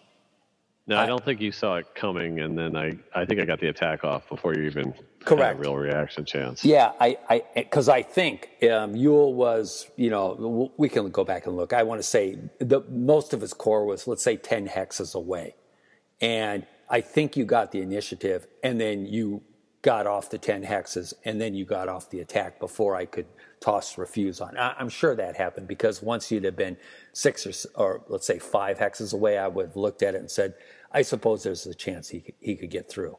Um, but nonetheless, I could have put refused flanks on the uh, on the bum, you know, much earlier in the turn on turn five. Yeah, uh, I um, I'm disappointed with the, the other side that you keep calling Stalingrad. I I feel like I should have. I, I've wasted a whole corps. Longstreet basically hit up against that rock and that didn't do anything. So that end of my line was a sort of a failure. But Yeah, um, that, that end was, but but also, you know, uh, the the dice roll. As much as as I've been bitching and moaning, and and the dice are the dice. There's so fu- you know frickin' many dice rolls in this game, and I think I want to say I got the dice roll when I needed it there, which is I, I say that defined as when you have a plus two and you're attacking, you should win the combat. The odds are with you, and I Right. that happened for me, and I think did did you have a plus one on me that failed there? I I think I may even had better than that. I, I know I had a one really poor combat roll over there. So I think you might have. I think so. Yeah. And then it was it was so brilliant this turn when you pushed uh, to outflank me. You know, do your usual you know plus four surround to sound attack, and then I got the initiative and whacked whoever the hell it was. I can't remember if it was Hood. It wasn't Hood. It was might have been Heth. I can't. Maybe it was Heth. I can't remember who it was. You know, the guy that you pushed north of Yeah. north of Stalingrad. And you even, what was great in the log, you even put, you know, geez, I don't know if I want to be, you know, Vegas or not. And, and as, you know, usually when you say that and you are Vegas, then Vegas says, no, you're not Vegas, you know, and, and I think that's, yeah, because I got the initiative then, and then I, I got my plus two off on you or something, and it worked, which then ended that whole um, thing in, in, in there. And in the center, it's kind of funny. I mean, I okay. So day one, and, and you correct me when I'm wrong. Day one was I sprinted to the front, um, which has pros and cons. Um, that was basically day one, right? Yeah, I, I sprinted to Gettysburg, or no, uh, the hill just south of there. yeah. Yeah, that's right. And, and I, I was sort of in disbelief that you were advancing in a scenario where all the objectives were way in your rear. Mm-hmm. Absolutely. Well, I, I looked at it. Obviously, I've been around the block a few times, like you have. And you know, at the very beginning of the game, I, I looked at it as like I've got the ants, um, the little fighters, and you got the frickin' Death Stars. You got ten of them, right? I think you have you have ten infantry units, and they're all mon- monsters. And I thought the only way I'm going to take this guy out, or, or is to slow him down, throw Russian troops at him, right? And um, hopefully his panzers will outrun, you know, the line at some point. And some point I can surround a few of these Death Stars and cut them off. And that also then to at some point divide your forces. That was another thing I was trying to do all along, which I think worked out brilliantly um, because only Ewell's over at the key spot. But you know, the point is, you got Ewell there um, in strength and took the city. So I don't know. What were you? Well, what were some of your thoughts on uh, doing this? Well, when you advanced, my thought was Um, I don't care about the objectives. I'll just get the 25 victory points just by chewing you up with casualties. Wow. Yep. I, I didn't see that, mate. I did. I, I, it was, I, you know, yes, I, I obviously have, a, you know, haven't played, you know, a tenth of uh, the game that you have, but I didn't see that you could grind up the 25 VPs Eh. just in losses. I, I was there, but now I'm down to only 22. correct. That's right. Yeah, I was above 25 for Mm-hmm. a while. And what what happens is, um, you know, my one my one bitch and moan about the system, a massive bitch and moan, is that the uh, non-pulsing player um, can't do anything but cav retreat, and that strikes me as mad. That um, Ed can get off, you know, one, two, three, or I can, um, you know, five initiatives in a row, and you can totally surround a guy, and he sits there on his ass, doesn't know what's happening, and you know, takes the the plus four pounding. And I think that, you know, I'd have to ask Balkoski about it again. You, you probably know that. Is that that's a product of a, an age gone by where the non-phasing player cannot react with his troops. He either can't intercept, like in For the People, he can't reinforce in, he, he can't do shit. And I, that's my one beef with the system. However, having said that, the brilliance of the initiatives, um, and, and I, I don't think they should ever be limited. I've seen people say on there, well, you should give a plus one, you know, when the other guy's got one or two or three in a row or some crap. It's like, I, I think that reflects it really well. That, that's my only one beef on, on the whole system. What, what's your thought on that, mate? Well, I think what's really interesting about it is you know you've got that chance of getting the next initiative, but it's so uncertain whether you're going to have it. And so that's why you saw me over, over and over again setting, especially in the recent turns, setting up these dominating attacks, but not pulling the trigger on them. Right. And then you would get the initiative.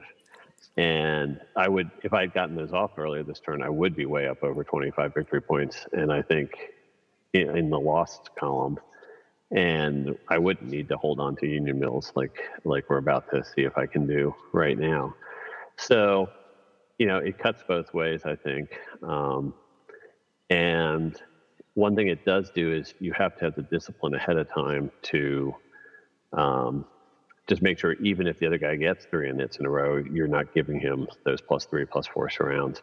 We're very spread out in terms of in great campaigns terms here. We've got a what 15 mile wide front here Yes. and um, so normally you would want to keep your armies more compact now i mm-hmm.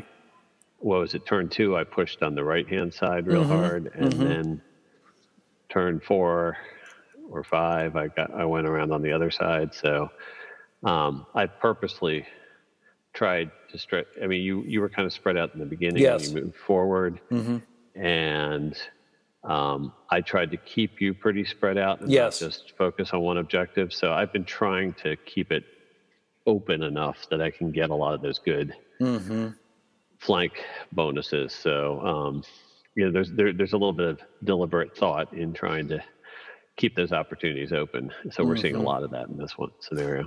Well, it's interesting that I think, in that sense, it, it plays to each side's strength and weakness. That that you want to keep it spread out because you've got the Death Stars, and at any one point you can beat the hell out of me. And at the same time, I also think I want to keep it spread out because I I don't want you to concentrate all your power in a very limited front because I think you'll blow the hell out of me.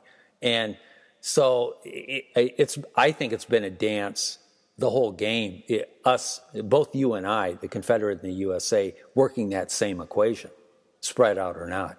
And Yeah. it, it's it's just it, I I think this is you know I haven't played as many scenarios as you have, but I think this is just an absolutely fantastic scenario. If you want to commit to, and what do you think face to face this would take? A long weekend? I think so, wouldn't it? No, No? no. It's um, but it, it would be. It's a scenario that's too long to probably play in a tournament. 'cause like eight hours. Oh, you can't do it. Yeah, I yeah, I It would think be at grueling. eight. it'd be grueling. Yeah. I mean, well, look, we we think. I mean, I'll try to go back and count them. I want to say it's a minimum of sixty initiatives, six days, three three hundred and sixty initiatives. That's a lot of pulses. Yeah, I mean, you take Paths of Glory has um, six times 20 times two, because each player has 240 pulses, so to speak. And that is, if it goes a dis- distance among sharks, that is absolutely an eight hour game. So, I, and this one is actually, I think there's more angst in this one than there, which I think uh, than in Paths of Glory, which is you know as, as you heard. That's just you, your experience over in Paths of Glory more. Because for me, I, I Yeah, you're- of Glory without stressing out entirely. Yeah, that's me in this. And, and even even a veteran of this game like you, you, you don't you still don't have that angst of whether or not you move this piece A, piece B because whether or not you're going to get the next initiative, or do you? Oh, I, I definitely do it on things like, um, do I attack now with a you know hasty attack or wait for the initiative? Um, you know, because then I can get it prepared, and so that's a plus two difference. And especially in this scenario, you don't. I didn't want my guys getting ground to a halt. I wanted to keep things as fluid as I could, so I wanted to keep attacking with very very good die roll modifiers. So I would usually wait for the init in these cases, but that's burned me a few times. Yeah. Um, so, um, so we're set up. Uh, so yeah, day one was me rushing as a conf- or as a union to the front um, to try to throw shit in front of you. Um, day two was you smashing through some of that. Um, day three, I believe, was the big fight at Stalingrad. Um, day four was more fight at Stalingrad, more fight in the center. I think that's where Sickles, remember, extracted himself. Um, as much as And, I and bitched you about. got there early in it to push me out of Middleburg. That's right. I, I- pushed out of Middle, Middleburg. Stalingrad. Yeah, Absolutely. Because I, I did have it. For, You were in. Yeah, you were. It, it was yours for a bit. I had to fight back in. Um, and and day five was Ewell's sprint to take uh, Union Mills, which we've been calling Leningrad, um, and then me setting up at the end of day five to prepare for day six. Because because yeah. Uh, and by the way, that was a, uh, I loved day six. Um, the first few turns where I was trying. I think you'll see. I could have had. I I definitely could have had a plus one and then maybe a plus two, depending upon your artillery roll or some other crap. I, I look, or Yeah. there was something there where, but the only way I you get, regret not taking that now? yeah, yeah, that's a great question, Ed. Um, I debated it for a long time. You know, there's uh, again, there's a couple things going on. One is that Ed is the better player, and when the weaker player gets the better player late, late, late in the game and has a 30% chance to win, the weaker player should take the shot. Generally speaking, you should do that. But the 30%, I don't think it was really 30%. I would think I think it was less than that. And I had to first of all get the corps off, which is, you know, an 83% chance, right? You you fail on a 6 or some shit, Six, right? yeah. Um, and then I got to get Meade off. Um, I had to do that, and I needed two hexes base. eh, I had, yeah, I needed Meade to get off. Which, um, if I need only one hex, it's he needs a five. So if he rolls a five, he's okay. He gets off one hex, no, or no, he he would have to roll four, four or lower. To get bring in any extra hex, he's got to roll lower than his There you go. command rating.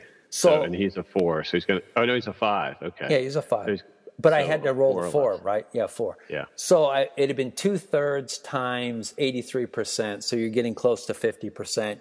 And then I, I, I can't remember what it was, but there, it, I had to make a die roll to get the plus two, if I remember correctly, on the place, as opposed to a plus one. So yeah, I, I thought about it long and hard, Ed. I thought I should take the shot now and just do it now. But the other consideration at that time is we that was so early in the term, we didn't know how Stalingrad was going to work out. You I held it, but you actually had a pretty decent shot as we saw of taking it back, you know. And Hood was still he hadn't been activated. Um, and I just kind of thought if I take back the city right away, um, there's no guarantee that, first of all, that I won't lose um, Middleburg or Stalingrad. And there was still a chance that you could get towards, you know, the middle one, Moscow, we've been calling it, whatever the hell it's called, Hex 4114, uh, underneath Taneytown. Rizzleberg. There you go. And um, out by the Brickyard, whatever the hell that is, way out west or way way out east. Uh, what's it called? It's called Manchester United. There we go. Um, I, I just didn't know if I could hold it all um, against you, and so that's where I then flipped to, as you saw, um, amassing all the forces I possibly could for an end of the turn roll on Union Hills and just say, or Union Mills, let it come down to that and you brilliantly um, saw the hesitancy of me and you went after the spoiling attack, which worked incredibly well. Um, without the spoiling attack, um, then I would have taken you and Union Mills, assuming I could get all my guys there like I did. I mean, I, I got some luck in getting all my cav there. He, um, who was it coming from Manchester? What the hell's his I name? think on the right. spoiling attack, you did outroll me by a little did. bit because I had like a plus two or three, and then you outrolled me by a couple. So my guys did get disorganized, which is important here at the end Correct. Yeah. because now some of my guys have lost some strength. Uh, I think I lost five combat strength because of that. Absolutely. Yeah, I, I got um, Dice Gods smiled on me there. And I think if it had been one more pip, I wouldn't have even been disorganized, if I remember correctly. I, yeah, you would have given me, I think it was a minus one I would have had, which is an F. So you'd have put fatigues on me. But I still would have been able to get off the monster stack with me. But nonetheless, you took that out of the equation. It's also been fun, uh, look, uh, fighting about uh, and watching you decide what to do with Stuart just north of the city. Uh, on whether or not he makes an end run. And, you know, obviously, just like you, I go through all the calculations and say, well, if you abandon that hex, I get a plus two on the main city. So you're probably not going to, you know, do that before the, the matter Yeah, you've got him pinned, Yeah. but I've got I've had a couple of your guys pinned. Yes, uh, you- likewise. Oh, Christ, absolutely. And it, it was absolutely comical watching Hood trying to break through on poor Sedgwick. that was a wonderful uh, sideshow to the northeast of Stalingrad. It was just great trying to trying to hook up to get the get Longstreet back in the action, and uh, it just came up short. I, I outrolled you there, right? Yeah, I got the big benefit on the dice. I think there. I did. Well, that was uh, again. Uh, um, I had it all set up, but then I didn't Mm-hmm. get a knit. oh, that's right. Yeah, That's right. like the number one case of that. Yeah. Yeah, that that that's um, th- that whole Stalingrad actually was a case of you not of getting a bunch of inits, but not the exact right init um, Yeah. at the right time. That's and each time Enough be- knits for me to spend a lot of fatigue setting things up, and then never getting the knit where I needed to finish it off. that's absolutely right. Yep. Um, so I think we're about there, mate. Um, let me look at this, and then we'll roll this. And, and as you can see, I've set it up. I'm going to take a couple shots at this damn thing. Obviously, you've seen me set it up that way, right? yep. Yeah, where it's like, hey, maybe um, I don't get the command roll on Meade on the first roll. Who gives a shit? I'll I'll, I'll, set it up and try it again um, and see what But a lot of you guys are at F three, so if they uh, don't If- have, you got it. Well, you you they could it- take it- themselves out of the action. yeah, it's safe to assume that I'll be going on the cheap to make the corps command roll. Right, one unit. He goes he he goes straight into the mob, and then he rolls to see whether or not Meade makes it. And if Meade makes it, in comes a guy. And if the one if Meade doesn't make it, I have I have three victory points to spare at the moment. Yep. There we go. So I can afford to get uh, piss away two of them in my calculation. Of course, who the hell knows what happens on the big battle in Union Mills? Um, because if for some reason I take a, a pip extra there um, after I've pissed away a couple, that will cost me the game. So, Yep. so um, yeah, uh, let me uh, get it up here and let's uh, roll this damn thing off. See what the hell happens. And you'll be able to watch it live, Ed, on uh, ACTS. let's see. Yeah. Let Yep. me get it up here. For some reason, Sickles should actually be be taking the try. He's he he he did yeoman's work holding off holding off uh, the main push by the Confederates, if you remember correctly. He was running around left and right, and his his ass was out in Yeah. Round Top You- at one point. yeah, just like uh, in the real battle. Yeah, absolutely. Okay, well let's uh, we'll give it a shot here. So we need a uh, six or lo- we need a five or lower, right? A six. and- Yep. No, a, a six. five is a, a five is okay. Right, a six fails no matter what. Okay. Yep. Okay, let's go. So it's Sickles. Here we go. Sickles tries the corps assault. Here we go. Here's the die roll. He gets a three. So Yep. So he's good. so he's good. But now the only roll that matters me. Cat, well, there's two rolls coming up. Jesus Louise. Okay, so Meade now needs a, he really needs a three or less. It's a 50 50. Because I got to The get good in. thing is that with Oh, Sickles in that hex, and he was by himself. The, the other good reason to go with him is, yeah, if you get a three or less, you get everybody. That's what I, yeah, and I need that. As you can see, being short, if Sickles just goes in with five strength points and then I bring in Hancock's horde, um, there's only 17 there. That's 22. That's less than the magic number. So if I get a four, you know, I'll have shit a one in six chance. If I get um, a th- one, two, three, or four, um, I'll have probably I don't know, probably Yeah, about a twenty percent, I think. Yeah. because it'll be a plus one. Yep. Okay, so here we go on Meade. It Okay. is it is Meade's moment, right? This is it. Well, he's been good for you. You've made a lot of these rolls. Yeah, yeah. Okay, so Meade's grand moment, the grand assault roll. I guess that would be Wright and Merritt. Okay. Agree? So Caldwell does. Caldwell doesn't have to go in, Yeah, Caldwell doesn't have to go in. Is that how you got it? If I and Farnsworth doesn't have to go in. and that right? Farnsworth doesn't have to go in. Is that how you got Okay, it? so you got one infantry and one cavalry. Let- Uh, that's definitely how I have the artillery. Let me do the double check. Yeah, double check everything here. Twelve. Yep, that's good. You have to send all the infantry in. So take out Merritt and Buford and put in I think all your infantry's got to go to get the twenty-five. seven and two. And actually, that gives me more than more than that, because that gives me nine plus seven plus seven is twenty-three plus five is twenty-eight. Agree? Right. So, what do you, what would be the uh, pluses and minuses here? What's the total plus? Okay, so I'll type that up in ACTS so we have that for Good. the log.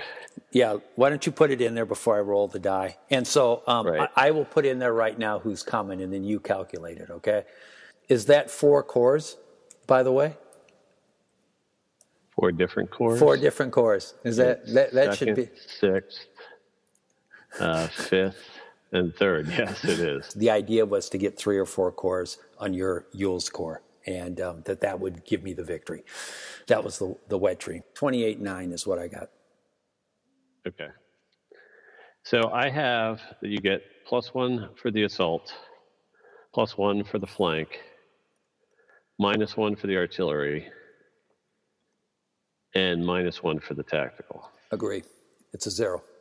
That's that's zero. That's what I thought. Best case I could get to um, after you did the incredible spoiling attack and screwed me. Um, or Yep. So I just put that in the, the log. good. And so I think the chances at this point is I have to roll two higher than you for the game. Right. So that would you be have 10 out of 36. 10 out of 36. What is, which Yep. is what? A third? One and three. Uh, almost. Yeah. Almost. Yeah. It's a, you're at about a 30%. You know, I did beat Steve Packwood in 1776 once on an incredible uh, game we were having on a one and a third. And I know that I won one of the FTP big games once on I um, someone was rushing me to go to dinner. Um, and I said, well, screw it. I'll just throw the dice here on this attack. Are you sure you want to do that? Yes, I do. Rolled the dice and I got a six and won that game. Um, but, but this is it. Ed, you have been one hell of an opponent. This is one of the better gaming experiences of my life, as in, you know, easily top 10, maybe higher than that. Um, just been a fantastic game. Jesus. And thank you so much throughout this game of putting up with my bullshit knowledge of the rules. Um, you've just been an absolute incredible support as always. So Uh, it's been fun for my end too. good. So we ready? We're ready. Let's do it. The roll is coming. Let's see. U dot C. Mate, since I'm rolling it, you tell me when to push the button. All right. Three, two, one, go for it. Oh my goodness. That's the answer. You're a winner. That is bullshit to win a game on a 61? Yep, that's it. Ed, that, That- that- is totally impossible. Okay. That's totally, Message from the dice gods. That is a decisive mess. Can you freaking believe that? A 61? I was not expecting that. I was not expecting that. That is not, No. that is mind blowing. Because we, I don't even think we've had. Have We- we, had any? I don't think we've had a full one six or six one combat this I don't time. think a 61 in three in in 1200 or uh, 2000 messages in the log. That is unbelievable ending to the game. Incredible. Yep. Well, mate, um, Jesus, we'll uh, catch up again soon. This has been, an, I, I, I can't, I'm still stunned at that stupid die roll at the end. A 61, mate? I mean, come on. Yeah, I had, I had, you know, like if you'd taken a couple losses but taken the hex, I would have probably sat there and looked at the board. But that, that's just so convincing that it, it's over. Yeah, that's just a stupid die roll. Holy cow. Well, All mate, right, well, great. thanks. And uh, I, uh, um, uh, I look forward to our next match, mate. All right. Yeah, it'll be here at some point. Uh, Good. Yeah, maybe another play by email tournament before we get the face to face going, Oh. but we'll see. Hope not. You take care, Ed. Best, best to you and your family. All right. Congrats, Dave. Yep. Thank you. See you. Bye.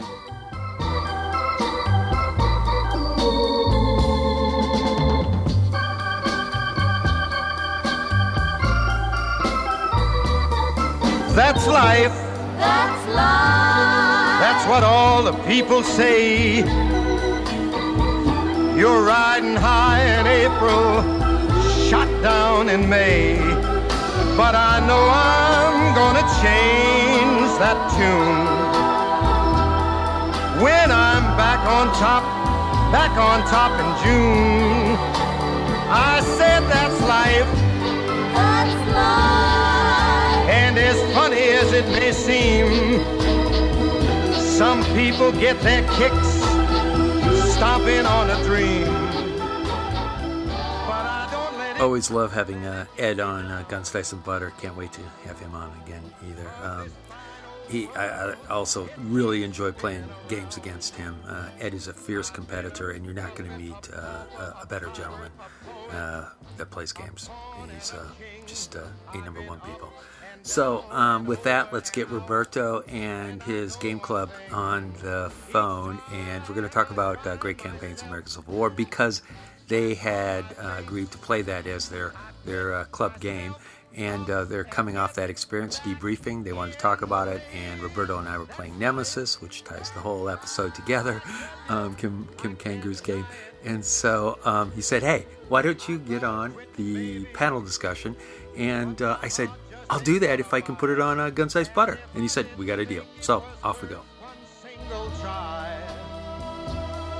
I'd jump right on a big bird and then I'd fly. I've been a puppet, a pauper, a pirate, a poet, a pawn and a king. I've been up and down and over and out. And I know one thing. Each time I find myself flat on my face, I just pick myself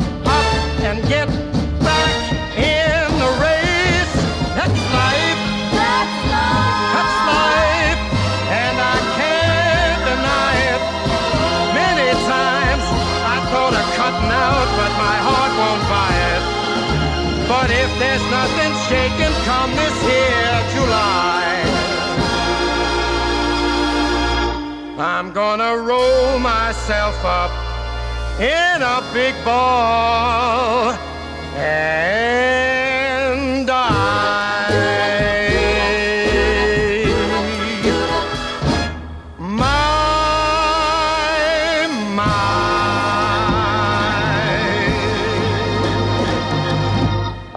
to go around the horn. I collect uh, the impressions uh, from all of you, what you think uh, about the game. Just let's give who joins uh, us today for the first time, you know, the first the first round. So, David, what do you think about the campaign of American Civil War system?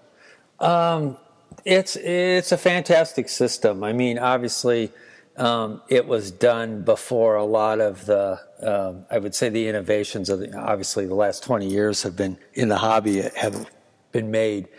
Uh, and examples of that is uh, you, you, can't react to if Roberto's moving troops around you. You, you. you have no possibility to react other than a cavalry retreat, which is you know somewhat useful, somewhat not.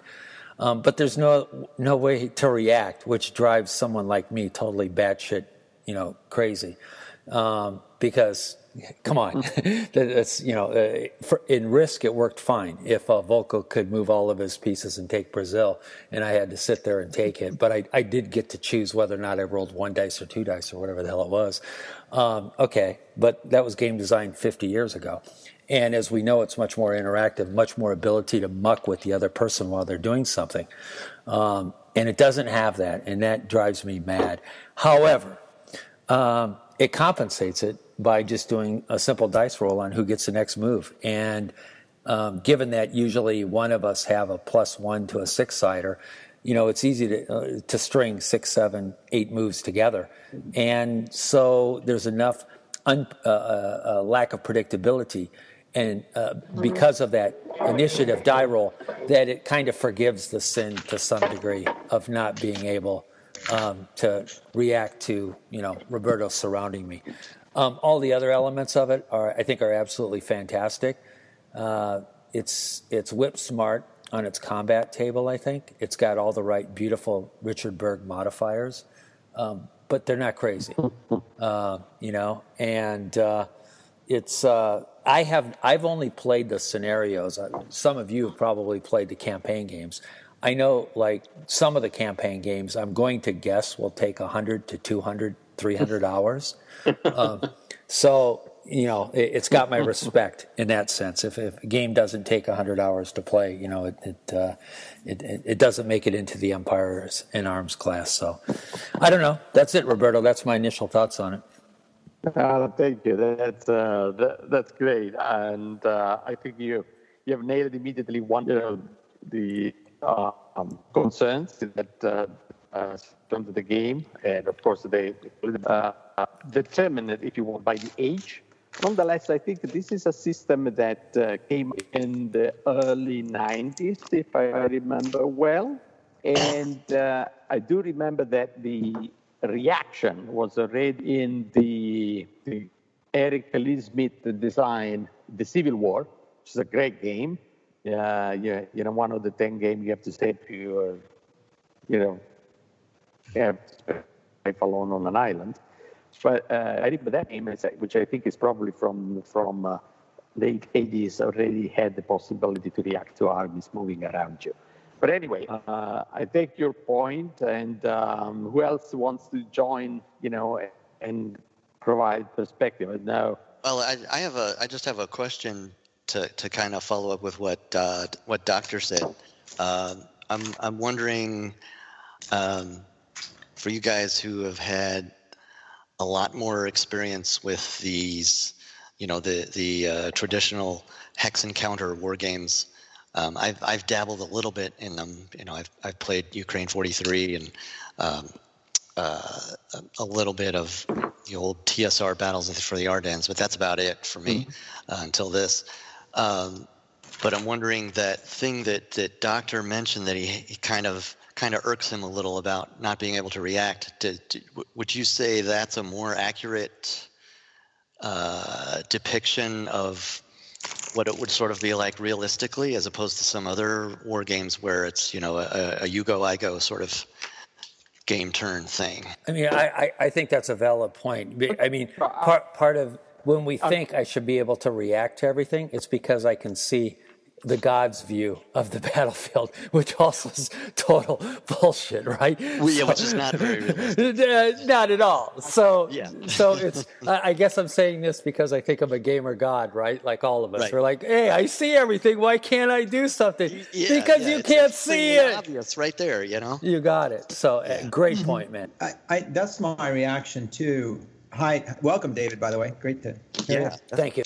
Um, is that I, I, I have some issues with the with the system, but that was not one of them. No, we know your situation. Just as you pointed out, the um, the initiative roll kind of in, simulates all that. Well, I I got the initiative. What does that mean? That I'm more excited to march? No, it means I have I just happen to have better knowledge and I can react to what you just did, perhaps, or I can steal a march you because you don't have the knowledge to react to what I just did. And I thought that was fine. Great Again, point. this is Dave. Remember, this is not a tactical game. It's one mile between hexes. So, I mean, in the fog, I mean, depending on what the terrain is, you might not even know that they're moving around. Look at what happened in the wilderness. Jackson walked right by and all the way around. Of course, that was woods, but um, it's the scale because remember, if somebody moves next to you, they have to stop, which in a way is your reaction. Good point. Now, Paul Dobbins, you might remember back when Kampfpanzer and the Civil War SPI game came out in the magazine. This is a similar reaction that I'm re- I'm remembering. You know, why is rolling a die and saying that units on hexes that end in this number are frozen, even if, even if they're being overrun? And it's it's a similar thing, David. I think to what you were saying. You can see these guys coming. Are they sitting there because of command paralysis? Are they sitting there because of they're green troops and they don't know what to do? Are they sitting there because they're not ready to fire their guns? It doesn't say. And and yes, you can't react, but it's not I think David what you're saying is not knowing the reason. Tell me if I'm wrong here. Not knowing the reason why you can't react is part of what seems to be bugging it, it bugged me a little bit about the system, but not a great deal. Just saying my guys are sitting there and unable to do anything unless I get the right die roll. But are are they, are they not doing anything? Think of it. Okay, we're seeing. I mean, if the enemy comes at me, I'm going to attack. What are their What are their orders? Again, we're thinking too maybe too wide. Yeah, you can go all the way around and counter them again. God's eye view, but just because they're moving there, you might be getting ready to defend because there is no front. There is no front to your unit, whatever way they're facing. You're moved. You might be moving in that hex to respond to that. So I, I mean, I understand what people are saying is not being able to react. That is, is it's kind of a sequencing of actions, and of course, if Jackson rolls a six plus two eight is a little unrealistic because I mean, it, it's hard to really do because everything's happening simultaneously. It's it's minor differences in order, but how do you do that in a game without going back to an I go you go? It, it's also the certainty that bothers me. The fact that Roberto knows I can't move him off my ass. That, Yeah. that, that, that ain't right. That, it ain't right. I mean, I, I, we all know from history, you know, um, uh, commanders are, are tentative. We would look at it historically, but it's because shit, they didn't know that. they had no idea what was there, a gorilla or an ant. And Uh, it, that's baked into the system. And uh, that's, it, it's probably that is what bugs me more than the fact that I can see something that really I, I shouldn't be able to see anyways.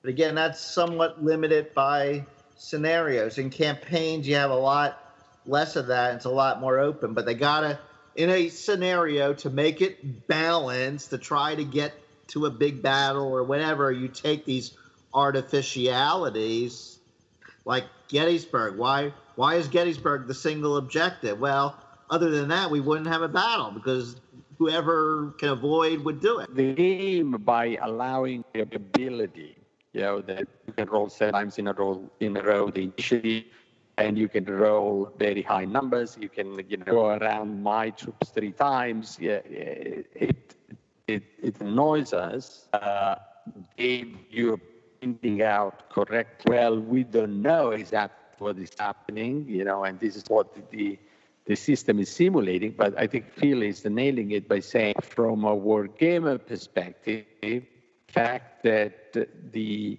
rule that is plain, you know, what what is that is- that makes uh, those units to be so static, that general to be so, you know, uh, slow in reaction. Uh, there are some games that you know maybe simulate this into some tables. So, for example, you may have a reaction roll, but with very low probability. So you you try to react, but you never you, it never happens. At that point, don't say, "Oh my damn, Roberto is running around me. I can roll six. but but so he would have the reason. He would have the reason why you know this is happening. Basically, this general is uh, it's it's a bradip and can it doesn't move. But um, in this particular case, you know what Phil is saying, uh, we don't know. The, I'd like to understand what what what did you find into the system that you that I loved that you loved that, that you didn't. First of all, it's a Balkoski design, and he, he's I, I, think the creme of the creme, state of the state of the art designers. Um, you know, uh, Korean War is one of my uh, favorite strategic operational games. Um, totally brilliant. I think what he did with using logistics and you know if i remember correctly you put three depots in the various fronts and you either put a 2x a 1x or a 0x with it which is how much umph you're going to push through. Totally mm-hmm. brilliant.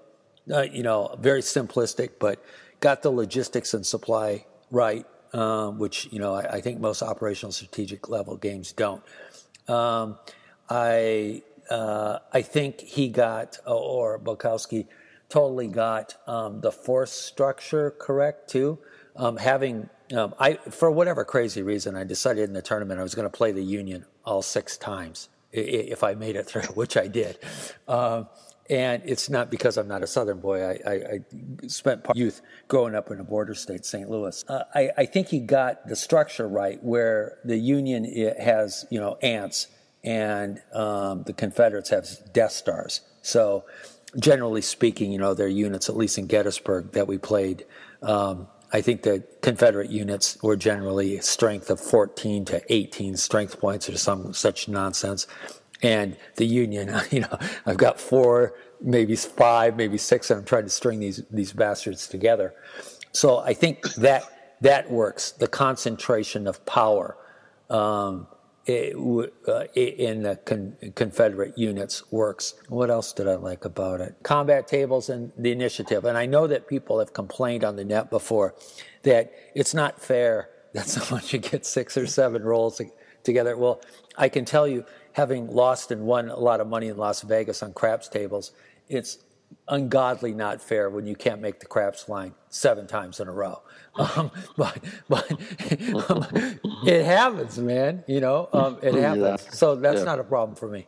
In the second part of the conversation, uh, Volko, uh, let's see, starts off with a few concerns um, regarding the system. Also talks about the things he likes uh, with the design, and I think Dave C. and Roberto uh, chime in, and I think others do.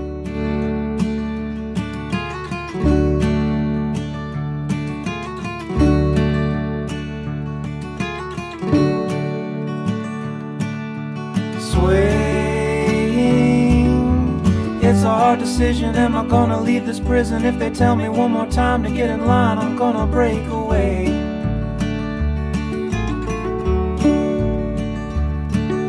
But I'm sure that every single prison guard that walks around this prison yard is gonna have a shot at me if he sees me running for the gate.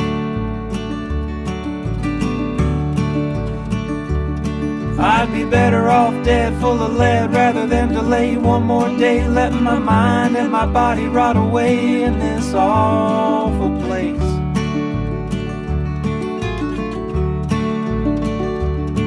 I'd be floating way up so high, looking down at all my buddies saying, You chunks, you suckers, I hope one day you can find the guts to escape.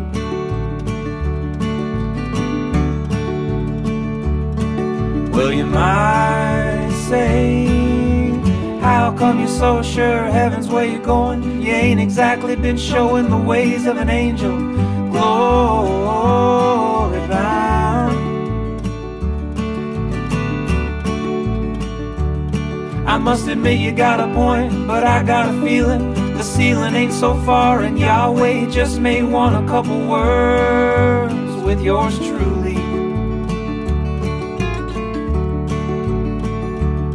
So I'll be walking right up to those big pearly gates, saying, Hey, St. Peter, old buddy, old pal, how's the family? How's work? How's the kids? What do you say? How's about cracking those gates and letting a fine, upstanding fella like myself join the club? And he might say, Oh, Mr. Avett, you can save it. I ain't gonna be buying any of that lying, jive, hustling, bold face, fake con man nonsense that you used to get by with down there on earth. And I'll say, Come on. Surely you and God of all people ought to know I was innocent of those crimes, I told you so. Every night by myself in that cell, surrounded by nothing but gray and quiet.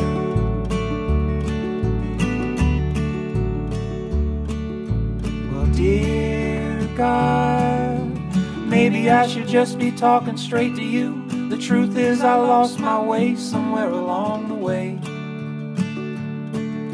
And if you got a minute, would you spend it with a sinner? Just long enough to give me some directions home.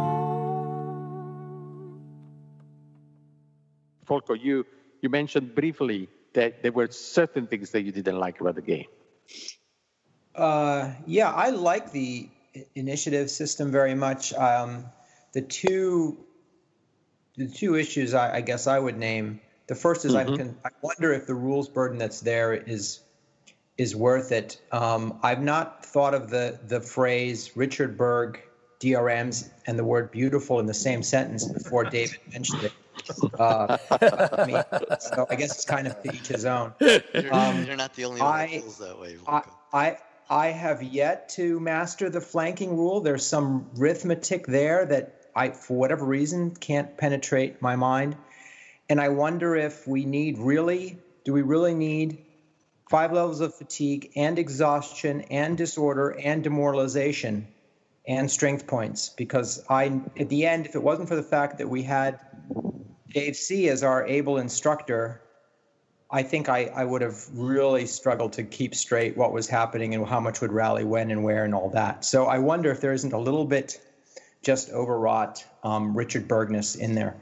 Um, but a large issue, that's a that's a kind of a just an efficiency issue. The larger issue for me, and it goes back to when I originally played Stonewall Jackson's Way in its original form, and when I'm playing an operational game that is a lot of maneuver to then result what in typically then would climax in a giant battle somewhere.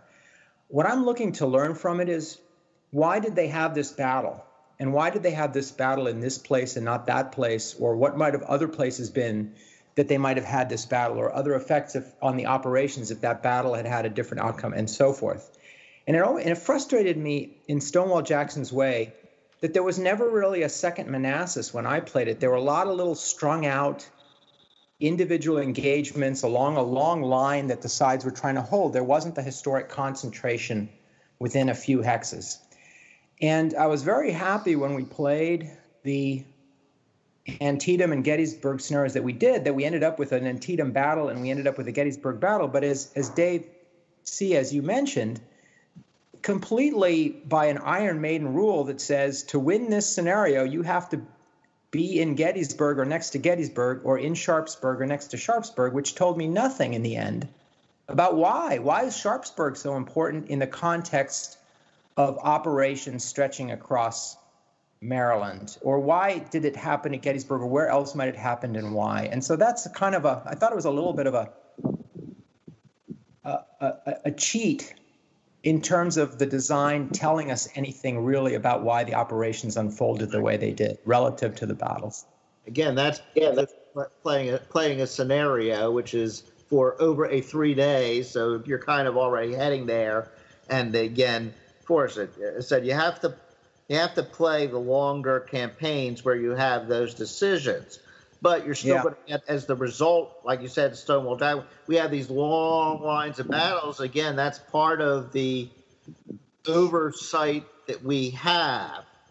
As Yes. opposed to, as opposed to, oh, I'm engaged. Jackson's engaged. We're all going to move to where Jackson is, but Right. we have the things. Oh, I see Longstreet coming Yeah, across okay. across So- the so- so I can, and that's just what Right. we what we don't. Precisely. But that's my point. What you've just done is levied a, a critique of the model falling down to tell me something I really want to get from an operational model. And you say, well, in this operational model, it doesn't work because the players have knowledge that they can react to that they shouldn't have had, or whatever it is. So how do you do And that? Do you- I kept you- asking you. I kept asking you in the campaigns, do you have a big battle at Gettysburg? And it was like, well, no, not really. And I didn't either when I played Stonewall Jackson's Way. So that's a, a just a case where, to me, the model isn't delivering somehow the insight into history that I want to get from an operational game. unless you play a double. So- I know. I think it is. So- I mean, I think that's exactly the lesson. There shouldn't have been a battle at Gettysburg. there shouldn't have been a battle at Sharpsburg. But there were, Yeah, but and I want to understand why. Uh, well, then you have to try to figure out why Lee decided to stand at Sharpsburg. Yes, When you're that's what I want to know. Yeah, but when you're playing the scenario itself, you don't see any sense to it. Exactly. I mean, you would expect Lee to, to um, withdraw towards Harper's Ferry and reunite. Right. so in the end, what have I what have I learned? Well, the fact of the matter was, what at least the historians will tell you is Lee thought he had McClellan's number and he could meet meet him and beat him anywhere. and that Sharpsburg was a, a good defensible place to do Yeah, that. that's right. And, which was. and therefore, you should be able to construct um, uh, those three days a scenario that doesn't rely on an Iron Maiden. That yes, you get 50 points if you're in Sharpsburg. Volko, I think you uh, you're asking a very fine question, um, and um, you know, starting from your uh, uh, minor observations. Yeah, I think those minor observations, the one you're talking about, the six different levels of fatigues and so on and so forth. I think that's a little bit uh, just the fact that it's a game that has 20, 25 years of uh, age. Yeah. I think I think so. I, I, I, th- I think probably uh, today um, a designer would be able, with the experience of so much um, uh, rules, you know, so many rules, you know, created in the last 25 years, to capture the same things in a more elegant way, most possibly. I, if, I don't if, know. if I could only though, yes, yeah. and yet they've had that time and talents like Ed Beach, I understand, on this, and they Right. instead of making it le- smoother than it was in the in Stonewall Jackson's way, it's more complex with more modifiers, adding an That- artillery. that- I think that's and uh, prototypical so Ed Beach design. they design. could have they they they've been working Wait, on it wait, and they went in the opposite direction. I I agree with you, but you know, I you, we, I, you know, this is always my point. You know, how is possible? I can also answer to you that we have been having you know path of glory for 20, 25 years, and the changes to that system that has been probably one of the most played games in the history of war games through a you know terrific uh, tournament organized um, all around the world, and still the changes have been very minimal. Yeah, uh, to the point that you look at the the the the last release, the scenario that people play is still not the official scenario. Why? Yeah, you would say why? I mean, you had so many opportunities to make that change, and they didn't do it. I thought maybe maybe it is not easy for the publisher. I don't know. I, I, I think I take your point. I mean, I'm saying, you know, uh, as a developer, I should have been able in 20 years, you know, putting together the rules and improve that. But I want to talk more about the last point you're making, because, you know, from my perspective, I, I, I see all these challenges that are typical from a, of a game of the 90s that still uh, playing this, this system, I have found very much pleasure in a system that allows me really to think operationally. And I, I do not have enough experience playing enough games, and let me, maybe like you have done, to get to the point where I have the same frustration to say, oh, I never, I never fight the Battle of Gettysburg here. What's, what's going on? Nonetheless, what I've noticed, though, that by playing really operationally the game, I was continuously looking at the map, notwithstanding I'm playing scenarios, to, to, to look for terrain features, to look for uh, you know uh, uh, road network, to understand where is the best place to strike my next strike, to wait and, and fight the onslaught of the enemy coming at me. So, in other words, I was not necessarily looking and say I want to defend a Sharpsburg. I understand that I'm forced to that by the by the scenario rules, but I played uh, the campaign, so basically the the the, the Antietam uh, campaign, the three scenario Antietam campaign, two three times, and there was one situation where I decided to defend, you know, be, you know, be, uh, uh, behind the Antietam Creek. Another one I actually was able to defend, you know, before the Antietam Creek. So I was really looking for that opportunity that the map offers me to um, to use, you know, uh, uh, uh, geography for my operational advantage. Now, maybe you're right. I don't know. I haven't tried that. I was never delivered the Battle of Gettysburg. If that's the case, uh, it's a challenge. But I, I want to finish with this question.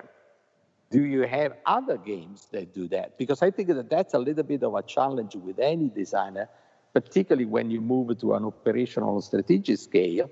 Um, that you need to force the victory condition because otherwise, you know, even you know why you even move your pieces, right? what what what is the incentive to move your pieces around the map? Right. So, uh, well, I would, uh, yeah. So let me, um, I'll contrast it with a couple of my games because I have done some operational designs. And by the way, I'm just saying this is one issue of the model that I was unsatisfied with. It does, but I think mm-hmm. everything you said is true. I, I enjoy it very much, and the the way that it relates to terrain and the maps are. What's beautiful to me about the game is not the DRMs; it's the maps. You know, the maps are fantastic, uh, and maneuvering on them absolutely does certainly transport me into the you know operational mindset. And I'm discovering things about you know the pikes and the rivers and the and there are decisions. Mm-hmm. So absolutely everything you you said, I, I fully felt the same thing playing it to its to its credit, but um, for my operation games, Wilderness War, French and Indian War, and um, and now the the medieval setting mm-hmm. game, starting with Nevsky, you you have a certain point value to a fortress or a fort or something. you have certain ways to get there, and there's certain ways that this or that fort is in the way of things.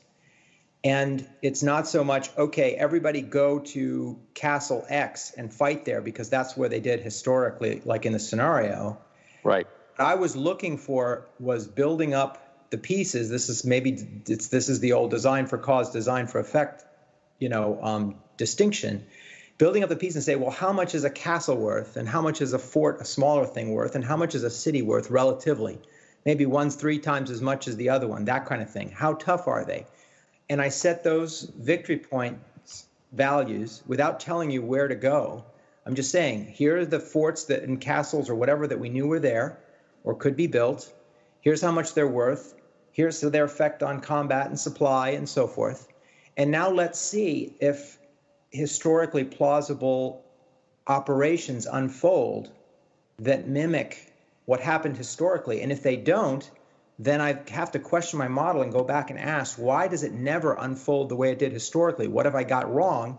And I adjust that representation of castles or roads or whatever it is in the model. But, but I think I succeeded in those two games because they were they they produce encounters in the places that they often that they historically happened while also giving you other options. But, but come on, yeah, you're, you're talk, talking about six six month turns and wilderness war versus one day turns, and again we haven't we haven't played the game. I understand. Well, why did they fight at Sharpsburg? Well, what's the objective? What was leading? We don't even know what the objective was. Right. I mean, that's that's part of the part of the issue. We're de- we're designing a game based on a historical situation, but how many variables to do we have to include that a yeah. designer I- I includes? And yeah. I understand. Well, I, there's, there's, you know, you know but it's a different scale. But what difference does it matter if it's a day or a month? The, the, the, you could set it, if it's Sharpsburg, you have to have a hypothesis. You say, well, Sharpsburg was still in Maryland. It was clearly an enemy territory, and that's where he wanted to make his stand. So you don't write the rule as be in Sharpsburg for 50 points. You make it, you know, uh, stay inside Maryland for X points per but, unit. But then, but then like you'll that. never have the battle because they can run. That, that's getting into the artificiality. Okay, if that's the victory conditions, there'll never be a battle Why Well, wouldn't wait, there? wait, well, this- wait, then then well, something I- else is wrong because that was why he did it, or there's some other theory why he did it. Maybe that's the wrong one. You can represent it. If you can can't represent your model, there's something wrong with your model. Well, that- But what that- can you if- about but- if you're backed up against the play- Potomac, you have nowhere to go. It doesn't it behoove the Confederates to choose defensible terrain like Sharpsburg and Antietam Creek, perhaps, to make the stand. And that's why Well, I said I- you gotta play, you gotta play the long roads to Gettysburg where we have Well, I- 30, 30, 40 days and lots of objectives all over the place to. Uh, uh, to yeah, do- may- may- maybe David, that, that that's that, that's where where where we fall short, right? That uh, maybe the, the, the these games were designed to play the campaign, and and and maybe that's by playing the campaign, maybe that's where we get the understanding.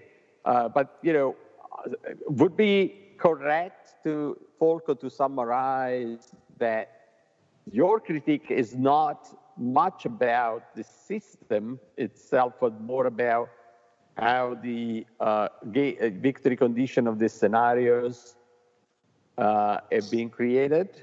So, in other words, you know, if the if, if somebody, you know, Ed Beach tomorrow, you will look at some of these scenarios and uh, modify the victory condition around the criteria like the one that you have described for, uh, you know, the fantastic game, Wilderness Wars War that you designed, you know, uh, would that satisfy you? And he, he, does, he wouldn't need to change any much in the case. Would you agree? I, possibly. I, I, you I- know, I- let, I let me, a- I have a- just I have a wait, wait, wait, wait. Uh, let me answer the question he asked, and then I'll and I'll mute and be, be done. Um, I played more than these scenarios. I played the original Stonewall Jackson's Way in the '80s. I played the original Here Come the Rebels, and I never had those kinds of battles. And I asked Dave, you know, I'd asked if you when you play the big scenarios, do you get that? Well, first everybody's going around and gathering victory points here and there and yon, and they had to do some other things to change it. I don't know. I haven't played that. You're right. I have only played in the recent form these scenarios that we played. However, it suggests to me an underlying issue with the system. Yes, because for whatever reason, the designer and developer had to put in Iron Maiden rules to get the system, the model, to produce historical results. So that gives me concern. But you're right. To be thorough in my critique, I would actually have to play all the games, and I haven't done that. In the third segment of the conversation, a great point is made about uh, the challenge of the game, and that's trying to get us into the mindset of uh, uh, or mindset of the commanders at the time, and how that's really not modeled.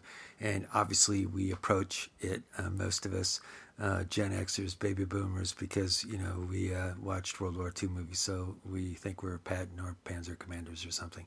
So we, we tend to tend to play games using that same type of you know uh, World War II strategy, and uh, we apply it, you know, uh, to everything. So, so anyways, I, I thought it was a great point.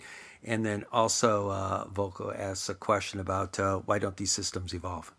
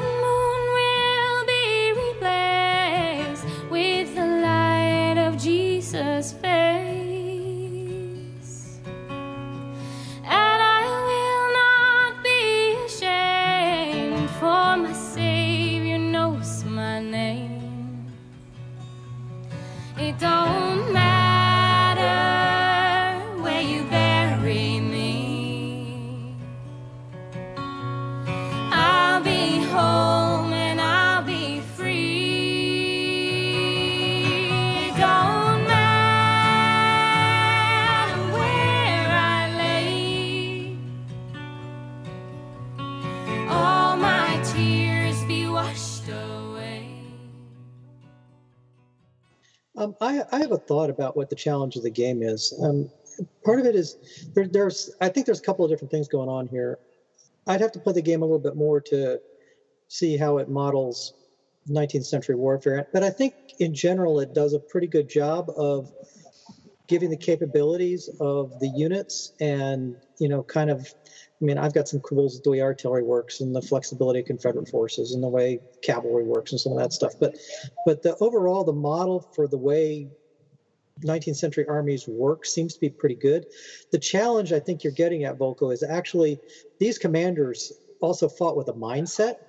And so the objectives in Maryland, Virginia, um, with, you know, at least for at least for Lee, was how he was thinking about the problem as much as anything else. And one of the challenges we have when we come to these games, I think, is that we come at it with a 20, 20th century mindset of how the terrain works and how what we can accomplish and how we can use our armies, um, and not with his mindset in particular, because he was the one that drove both those campaigns in a lot of different ways. So the question is, I, think it does come down to how you structure the the victory conditions. Um, but it also comes down to how you think about how you use the armies. Uh, and I think that's a, a much tougher problem to try to tackle in these games. I agree. Um, if I might, I'd like to try to put a point together that Volko made much earlier when he was speaking, and what Duca said. Why don't the games evolve? Correct, Volko? Didn't you say why didn't they take this older design and when Ed took it, evolve it in some way? Was that one of your earlier points? And then to and then Roberto followed up with a point in Paths of Glory, where he said Yeah. you have you have games that are played for a long period of time that are popular, that people continue to play, and why don't they evolve them? Uh, let me just uh, modify that paraphrase, Phil. Okay, go ahead. I, I made that point only in response to the contention that the reason for the over articulated mechanics is because it's an old game. And I think that's correct. And we need to hasten to point out it's an old game that had the opportunity to correct that flaw with very able developers on it and a big fan base and tournaments going on.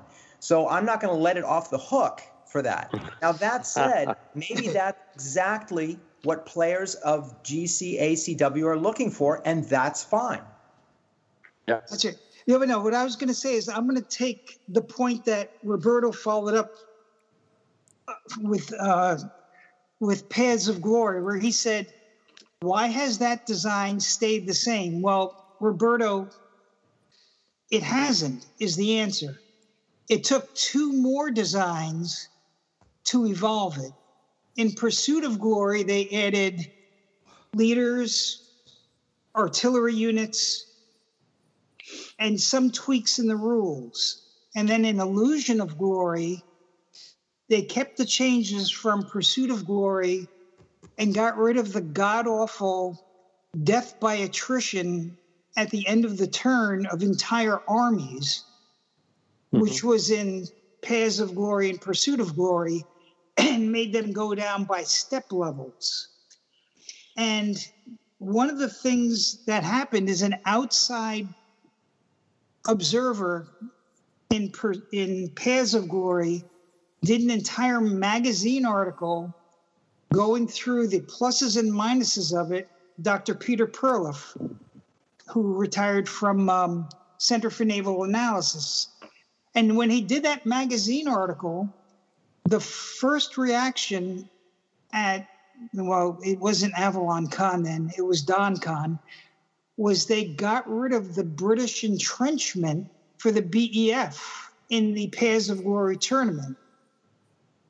And one of the things now to get to uh, Volko's point is that perhaps it does take someone who doesn't have anything to do with the initial design to come in and look at it and publish something in a scholarly manner, the way Pete did, and say, you know, perhaps we can tweak it this way and give it a try.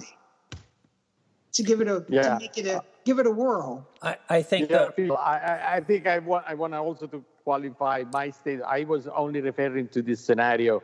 So, for example, the suggestion from uh, is is a variant currently in Paths of Glory, but everybody plays and has agreed that that's a better way of playing the game. So it, sh- my point is that maybe in, in the fourth or fifth edition should not be the variant, should be the way to play the game. That was only my comment. I, I agree with all of what you said uh, otherwise. I, I would I would say that it you know uh, of Glory was always owned and taken over by the hardcore sharks. So their motivation was more of an Avalon Hill competitive beast. And that's why of Glory never added on 13 different flavors of German units. There's Yeah. a German unit is a 533. Yep. It's a 533. I don't give a shit what the designation are, the fact that this unit was called XYZ, or shouldn't it be really a 433? It- the Sharks never gave a shit about that. They wanted some chess pieces. Uh, being someone that loves Chrome, um, uh, it, it was never a consideration. It was like, let's turn this into more of a brutal competitive match game. And that's who Mhm. took that on. Great campaigns in the American Civil War. Haven't been uh, Paths of Glory, I've been a part of that tribe for over 20 years and been a part of the original um, FAC, um, which was, you know, 20 pages and uh, redesign of the game and all that bullshit and all the rule sets. Um, great campaigns in the American Civil War. They're not hardcore crazy sharks like of Glory dudes. They're they're much more. What is the feeling? What is the history of this game? And I think that's the answer to your question, Volko. Uh, why they w- didn't go through and prune it when they look at it. You know, eh, you already know my my view. You have, want more chrome? I see that as richness. Other people look at chrome as why do you got all that baggage, overhang, overwrought, convoluted bullshit? Yeah. Because No, man, I, I, you know, I love 37 types of beer. I, I love that there's a Mad Dog 2020, man. I, I, that's what I'm into, man. Yeah, and that's what I suspected is that that it was that the reason that gets us to the actual why is there this chrome? Why are there all these DRMs? Why are these mm-hmm. different flavors of things that can happen to units? Why did we go from just artillery factors to a whole separate artil- table to determine what artillery does? It's not because it's old. It's because that's what that community of players want. You got it, mate. That's what they're after, and that's great. It's not necessarily something I love, which is what we're talking about here. It's like, what did you like or not like? But I can absolutely understand, and it does work. I mean, it does. It does transport you to Civil War operations. There's no, there's no question. And I'd have to say, of the games I've played recently, um, great campaigns in American Civil War, having just got back into it two years ago, um, I would say my book purchase per play is among the highest. So, yes, I went out and got, bought books on Sherman. I read a shitload about Sherman. Of course, I know who Sherman was, man. I've known who Sherman was since I was, you know, 10 years old. but did I ever read any books? Nah. But this game inspired, uh, caused me to buy a number of books and dive much deeper into the history of the American Civil War. Oh, so just to break in, I mean, I, you know, I did the Antietam scenario. I guess what I would react to is when you have a game like this, you you know, you're you're trying to model, trying to model what happened, and and modeling is about simplifying. It's always about simplifying. But I think what happens with games like these is you start out with a model and then oh but it doesn't really tell us how to do this and it doesn't and so then you end up with i don't know you might call it chrome or complexity or um, you know drm on top of drm or or you know some of the discussions that we had about flanking moves or about um, you know it seemed like we were always you know, muddling, megling with the, you know, what would be a stack of things on the, you know, luckily we were playing on Vassal, but it would have been a stack of things on each one of the, each one of the counters. And, and, and for someone who is a much more casual player, you know, I'm never going to be playing at uh, WBC with Dave. Sorry, Dave, it's just not going to happen. but you know, I mean, I, I kind of thought the game was, you know, was interesting and and and a relatively good simulation. It did drive me utterly nuts because I don't play craps, but it seemed like we'd have seven or eight or nine. I mean, we had that in, that in Antietam. I think at the start we had what seemed like an infinite number of activations to the point where they actually screwed themselves because they took so many activations that they didn't have anything else to move. And then we just kind of screwed around and did what we wanted to, right? Although we couldn't do very much because we were the union and we suck, you know, and and we try and have an attack and we could only send two units or one unit. Um, so so to me it's it, there's always a playability versus simul- simulation um, trade-off but i think there's also a, a complexity trade-off where when you really get into a game yeah i mean i remember when i was a kid and i first got the SPI stuff and they started putting out games with thousands of counters and i was looking forward to oh my god look at how many counters this is great. You know could take you all day to just get the counters out of the out of the spines and you know that's that you know now i much more appreciate Are you um counter clipper, Kip? i'm not and I appreciate, Kip? like roberto and i played one of the no retreat games you know he had a day off and he came over and and it minimum number of counters um incredibly incredibly simulated. I mean, I, he ended up beating me because I tried to save one of my one of my artillery no one of my armored units got a little out front and he he he was going to whack it so I sent a bunch of units to save it and then he just whacked them all you know but I but I thought that the game you know I I started to appreciate the um, getting rid of the complexity um, to because a model at its most elegant is the few, is the fewer counters, the fewer little pieces you put on top of it, right? You know, like I, I, you know, thank you so much, Dave, for telling us what the flanking was and and for figuring out the DRMs. I never managed to figure out the DRMs because it just seemed like it was 17, you know. Well, do this and then do this and then do, and you know it's like, well, why don't you do it for me? Well, You- Kip, you- you, for contrast, you, you have played Gettysburg with Mark Herman, so you have a good example of, of a contrast. Mm-hmm. You played Gettysburg with Yeah, and, and Phil and I just played it, and it, Phil was utterly annoyed by the game because it is much too is much too simple, right? You know, hmm. I, we we had some time, and I said, well, why don't we try this one? I kind of liked it. I do, and I kind of like the system, but the system is, you know, like you say, Paul, is exactly the opposite system, right? It's all about. I mean, you know, you've got the fictionalized artillery, which is you got 17 artillery, use them when you want. And yeah, I know Phil hated that, so there's not enough not enough supply. Phil loves supply, so. Well, I mean, don't both games I think use corps level counters more or less. Mhm. Yeah. Yeah, yeah. And, the, and Mark Well, Herman I- Gettysburg I- is amazingly good for how few counters and how simplistic it is. I mean, it really does end up simulating it in a very. I mean, I don't know if David, if you played it, Sure layered it on with Waterloo as follow up.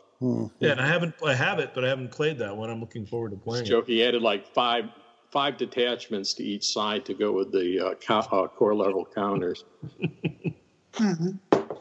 Well, I, I I have to. I don't know, guys. If you went on BGG, uh, there was a, there's a guy who uh, maybe Dave, you know, maybe it's you. I don't know. There is a guy who actually produced a couple of tables for the Great Campaign of American Civil War, and uh, very it must be a very smart uh, uh, art designer, or, but also you know a, a very good logical thinker because what he did he said, okay, I have to roll three dice in order to achieve these things. He created that when you have to roll the dice to figure it out how many units go into the battle for a specific commander. So the rule is alpha page and say, you know, roll a die, so no, look at the commander, roll the die, subtract the, the number from the commander, then make these modifiers. It's alpha page. That guy has put the whole things into one table. You roll the die, you look at the table, you don't need that alpha page any longer. So my point is, it is an old design.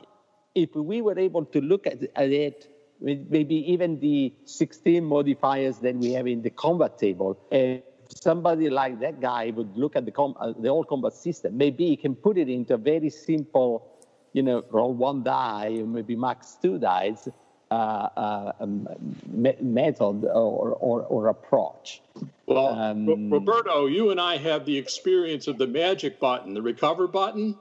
You press that, yeah. you look at the map, you say, what the fuck just happened? You just have to go through the whole goddamn thing to try to figure out if it's right or wrong and question things that are happening that you thought shouldn't, and just the opposite. But it wasn't right, right? The, the, the, the, the, the, button was doing the things correctly, I think. So you But could have a anyway. chart just the same as the recovery button, and if you don't think it through, then the chart's no good either. point I wanted to make is that uh, um, uh, you may evolve to a situation where you have seen so many games that solve elegantly the issue of complex situations, right? Without requiring you to do 16 dice roll. Now, if you if you look at the same problem today, uh, today you have games that do this very sim- simultaneously. If you take the game from the 90s, that you know at that time they just didn't uh, they haven't uh, evolved. They had 25 years to do point taken maybe but the you know the the crowd B- board game geek has done it for for some of us. So uh, ed beach could have added that table to the to the to the to the game system to the standard rules it did not it can still go online so uh, there are people that like Scrum, the uh, I don't know, like the cancer, cancer or something like that. You know, that kind of is the things that some of us is looking for. Um, it doesn't need to come with a sacrifice in in playability. Well, I mean, Ed Beach is. I mean, Ed Beach is a wonderful designer, and you know, I've come to appreciate. Um, Here I stand, um, Mhm. but uh, I like Virgin Queen better because it doesn't take, you know, s- several hours to roll every single religious There we go. thing. You know, and in Virgin Queen, he, he simplified it. But I guess somebody, I think maybe Phil was telling me, somebody asked him, why didn't you do that? Here I stand. And he said, well, that, you know, that wouldn't simulate it properly. And here I stand, you know. And, and for, to my mind, I guess I'm just too casual a gamer sitting there, you know, totaling up how many cities are controlled around it and, you know, on every single roll, as opposed to, you know, Virgin Queen, where you just like basically have you know you roll you roll seven dice and three three of them are hits and then you apply them to one the ones i mean that just takes so much less time. But you know for him it didn't you know it doesn't simulate it well enough to put into the original game so i mean i I- think i think it also gets at what volko was saying which is that you know he's sitting there trying to think operationally why did they fight at antietam and that's what Yeah. he the system to tell him and and I I'm afraid I have you know as much as it pains me to agree with Volko, um, you know I have to I have to absolutely agree that that's that's kind of what I'm looking for is well why did they choose here to play? I mean I I think when you read the history of Gettysburg you kind of know why you know I mean in a way Buford was the one who who chose the spot right he's like this is damn good ground or whoever said that you know and that they chose that because they were blocking Lee or whatever they, but the game can tell you that whereas you know, to to my mind, you know, it's like, well, he probably just ran out of, you know, ran out of, uh, you know, he got he, he exhausted himself when he got here, which Oh, seemed to- everything. I have an offering when I, you get want. I want to ask this. I want to ask this question though. Buford, if instead of rolling a four, he rolled a two, he wouldn't make it to that spot. So he wouldn't make it to that spot. Well, well, in Antietam, we had that one unit that just that was supposed to come down that stupid road, kept rolling like a For tool. the sake of a nail, the shoe was lost. You For know, the sake that of the shoe, the horse was lost. Yeah, the unit was was great to have, but it's just an open but- joke. It's like, oh, they're coming. They're gonna they never made it. They never made the battle. It was In the fourth and final segment of the panel discussion, we talk about how battles resolved in great campaigns of the American Civil War. And Roberto makes a call for more multiplayer versions of our great two player games.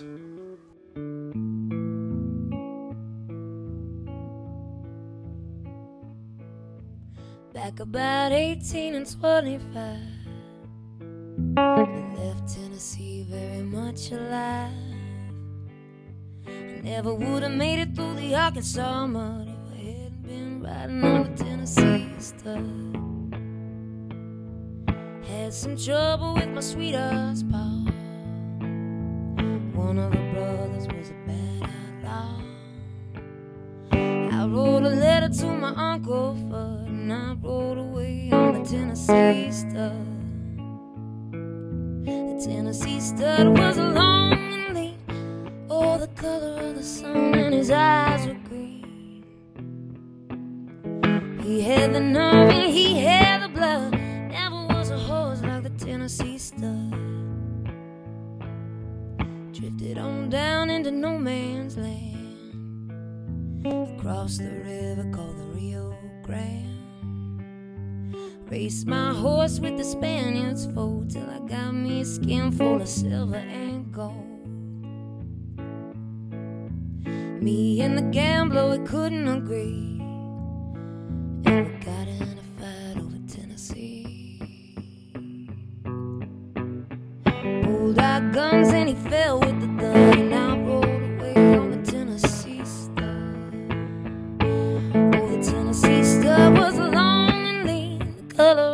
Sun and his eyes were green. He had the nerve and he had the blood. Never was a horse like the Tennessee stud. Never was a horse. Never was a horse. So I rode right back across Arkansas. I whipped a brother and I whipped a pa. I found the girl with the golden hair. She was riding on the Tennessee mare. Pretty little baby playing on the floor. And there's a little horse cold around the door. I love the girl with the golden hair and the Tennessee stud loves the Tennessee man. The Tennessee stud was a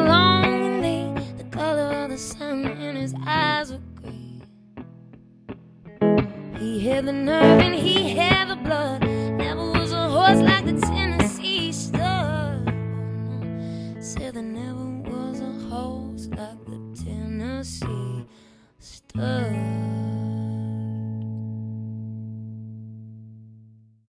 I have a question that I want to ask to the group about the actual execution of the battle. So, you know, you move around, you roll the dice, you know, you, you do all these things. And then, you know, uh, particularly in the battle uh, of Antietam scenario, you know, you ended up with two, three e- e- hexagons, right? Where you have your troops, one next to each other. Uh, you try the grand assault if you can, and so on. So, uh, what is your feeling about how good is that simulation uh, of, of, of a battle? Is to, you know, you would have preferred to have more chrome, like like maybe uh, dot uh, or less. Is that satisfactory for you?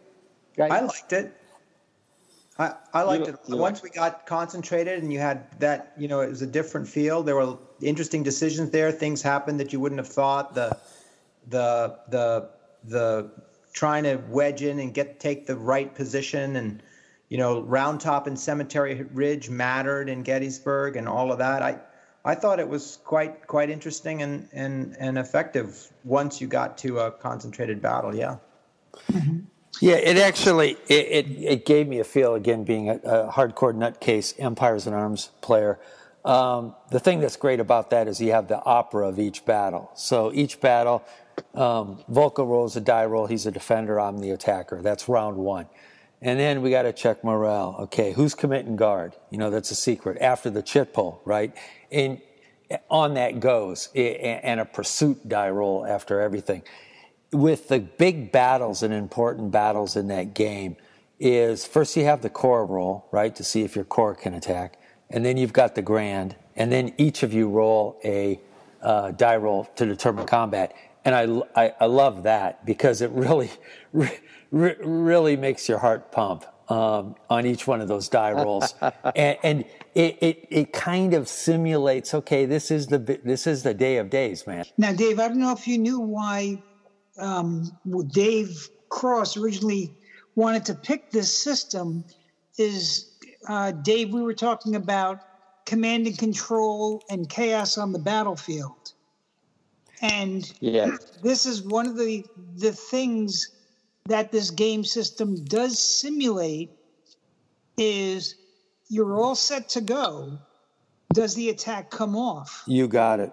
you know. Absolutely. And I think that's brilliant. I mean, when we talk about back to, you know, uh, a couple of you guys have mentioned is why did the battle happen at freaking Sharpsburg as opposed to this location, besides the fact that this is worth 50, 50, v point, 50 victory points?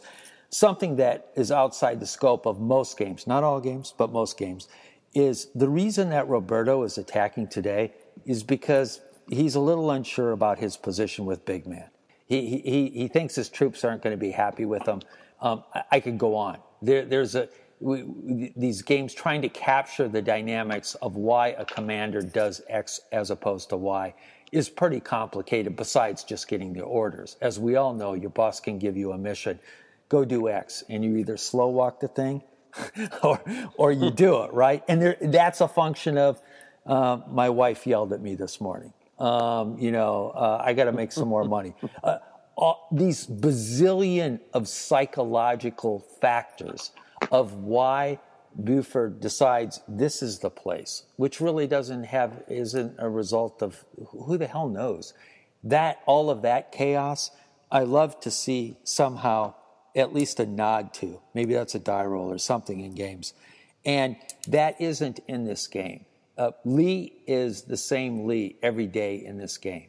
Other games do have, Berg did it in uh, Rome versus uh, what is his, his Punic War uh, game, Carthage versus Rome or something, where you roll to see, and I think um, um, Herman did it too, whether or not a commander is a good has a good day or a bad day, right? He does that in Washington's War, and Berg's done it in other games where is Volko in a good mood today or is he in a bad mood, and then based upon that die roll, that sets out things too, and that it, it, it doesn't have that granularity in this game. To to to close, you know I would like to ask the question about the, what the, those of you who were able to play the multiplayer game with that uh, organized and uh, you know thank you again. I mean, I think you put a lot of work in uh, in uh, in organizing that uh, those matches.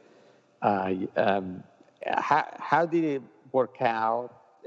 did you have the feeling that it's a good system to do multiple play, or maybe you you end up uh, too few units and you know you do very few things uh, every once in a while and maybe boring or it was not the, the opposite you found that you were active most of the time how, how did it work out was it was it an interesting experience i thought it was the most engaging uh, aspect of the whole thing was and this is again it's a function also of the fact that we have this club and we're all you know trying to do this where we're enforcing playing the same thing as a lot of other, uh, you know, as, as a group of us. Nenna has the opportunity, especially via Vassal, to get together and play a. We would never do that face to face. We'd never get seven of us together, you know, to do this. Right. So I think I think that's a rare opportunity. I loved having the discussions of what should we do and what are the strategic problems, and I was always interested in hearing all of that, even when I didn't have a, a decision. Um, even if it's less realistic, I just it was just interesting to hear the rebels, you know, discuss their issues and their priorities, and then and then for us to have our discussion on the union side, and uh, the whole thing orchestrated by Dave, for me worked so well. We're gonna we're gonna do that for um, San Diego HistCon online Saturday the 14th, and when I say we, I mean I'm gonna introduce Dave, and Dave's going to do it. but we're going to basically uh, offer it, offer this. Um, hey, I don't think his thing. name was in the program. Yeah, what's that? His name wasn't on the program. Yeah, all right, we'll fix it. Well, I'm what kind of shit you're trying to pull. Regardless, uh, I'll, I'll, I want the game with and uh, he will teach those whatever players we get for that the same way he taught us. I think it's going to be great. Oh, that's good. That's good news. And and before we go any further, thank you, Dave, for all your time and patience. I mean, you set the bar high, and I can tell you right now, there's no way I'm going to meet that. Yeah, I mean, I'm not going to do that amount of work. Um, yeah, I think maybe, I think maybe in the future, you know, this one you couldn't just do this one in a couple weeks. I know, um, and and your expertise and knowledge and passion for the game translated really well. So thank you. But like I say, it's not not happening for me. Man. Well, that's right. And, and again, to, to Volko's point, I mean, because you're all, most of you were all learning or had limited experience, so the discussions were very important. But it, it, it really is a great dynamic when you have very experienced players where we just talk at the beginning of the turn and then don't talk during the turn and it's fascinating because well, did he really want me to do that? But then they move there, and, and the and it, it, it becomes Right. Depending on how the turn goes, you may never talk to each other again. Yeah. but, that, but that's much more realistic for a Civil War battle where maybe you had a Council of War the night before or in the morning, and then and then you really don't have that much. You know, maybe you have a, a rider telling you where in the, why in the hell haven't you attacked or something, but not much other than that, right? So that that's why we have we have some great. I mean, well, we haven't done it. We skipped this year, but uh, my friend Ken. I mean, that's where we play the huge forty-day Gettysburg Oh, cool. scenario, and we do. We split up the commands. You have the command conference at the beginning of the day, and we actually use chess clocks, so you've got to make your decisions quick too. And it's really a lot oh, of cool. Wow. Oh, we could never do that. That would that would kill. So us. I, I I thought it was very good. I mean, the, discussion, the discussions were really good during the game, and everybody really was thinking about pros and cons of what they were were doing. And I hopefully my notes get you some just it's just to think about because there's not a lot of times there's not a real right or wrong answer, but it's the ability to analyze well what are the possibilities. So I thought I thought it went very well. And again, it's I've done this now for years with WBC, years within it. Uh, the one comment I want to make is this was brought up earlier. They could have done changes. Well, when Ed, it, the first time when Ed started getting into it with Joe, the key thing was, and again, this was still Avalon Hill, was not to totally change the system. They had to make it somewhat backwards compatible, and then again to get the standard rules. And now, so the rules have actually been stable, whether there could be things better or not since 1995, and they're still printing games out to it. And again, as you said, maybe things would be easier. I mean, it's it's all what people I mean, like. there's a lot of noise because you want to preserve the individual characteristics of various um, games in the system. But when you're reading the the standard rule book and you say, "Well, this is true in Stonewall Jackson's Way, but it's not true in uh, the Atlanta game, and it's not true in something else," it, it just drives me nuts. It that shit should all be s- swept out of the standard rules. I mean, but some of it, it's, it's again what what becomes a standard rules and, and adjustments to the standard rules versus what becomes a, a game. Because if you remember, all the original Stonewall Jackson's Way, HCR, RTG, they were actually similar, but they did not have the same rules. Right. Hmm. I have them all. and they, they, they were different on how they handled that. So, so then when they got to doing uh, uh, a, a doing a Stonewall's last battle and um, on to Richmond, were when they got Joe and Ed worked together to get the standard rules. They retrofitted the earlier games, and then everything going forward. Yes, okay. Once we got to 1864, well, things changed, but basically the rules have stayed the the same. in war game, yeah, war game, I think was born as a two players kind of game, right? You know, I play the blue, you play the red, we fight with, with uh, you know, paper counters, um, paper units, paper army. So then multiplayer games came in. There was, uh, we, we, we play Napoleonic War, we play here stand-up, many multiplayer games. But multiplayer games, most of the time, I would say 90% of the time, it's uh, you know everybody's against each other trying to to win the game. The designer doesn't say, oh, by the way, if you want to play, this is one page of rule, you can do it. Why this doesn't happen? I mean, you can always do it, of course. You can always separate, but I'm saying you really put in the rules to simulate that. Why it doesn't happen? It's funny you should say that because in um, in I don't have that in Nevsky. I guess it's fairly small, but I we Mhm. found with Volume Two, Almoravid in Spain, that in conventions it was very often people were playing two against two, and they came up with their own system for dividing up the lords. And so I just wrote it down. It's a paragraph in the Mhm. rules for team. You know, if you wanted to play in team play, here's how to do it. We love you, Volko. We I mean, love you. and you're, it's you're right. It's easy to That's the write way- and, and it's to helpful. Every time that I open a game, uh, unless it's relatively small, right, um, I always think that that would be a great a great game to you know to play in teams. But certainly something to think about for our little group because the thing that the thing that I liked was the you know when we had seven people on the phone call, you know we were there were five, six or seven or whatever. It was the camaraderie of it, right? You know there was a lot there was a lot of dead time, but it was that ability to you know kind of be talking about it, doodling together. That was just a lot of fun that you don't get in a two player. You know, and you know, it's part since part of this is about keeping con- connections with each other. It that was just very, you know, kind of like when we did Wellington. It was it was nice to have more than you know two people on. Although Yeah, it was cool. Yeah, maybe Volko, you can you can you can speak with uh, some of the publisher. You can uh, spread this idea. Probably the publisher always ask, always ask uh, to the design, hey, can you do a bot to play solo? Uh, why don't they ask also the question, hey, can you do a, oh, you know, a, a rule addition where they can play in teams? Uh, try to talk to So- them. Sounds to me like a, a David Doctor graphic on the, the evolution and categorization of war games to the degree to which they accommodate team play explicitly in the rules. there we go.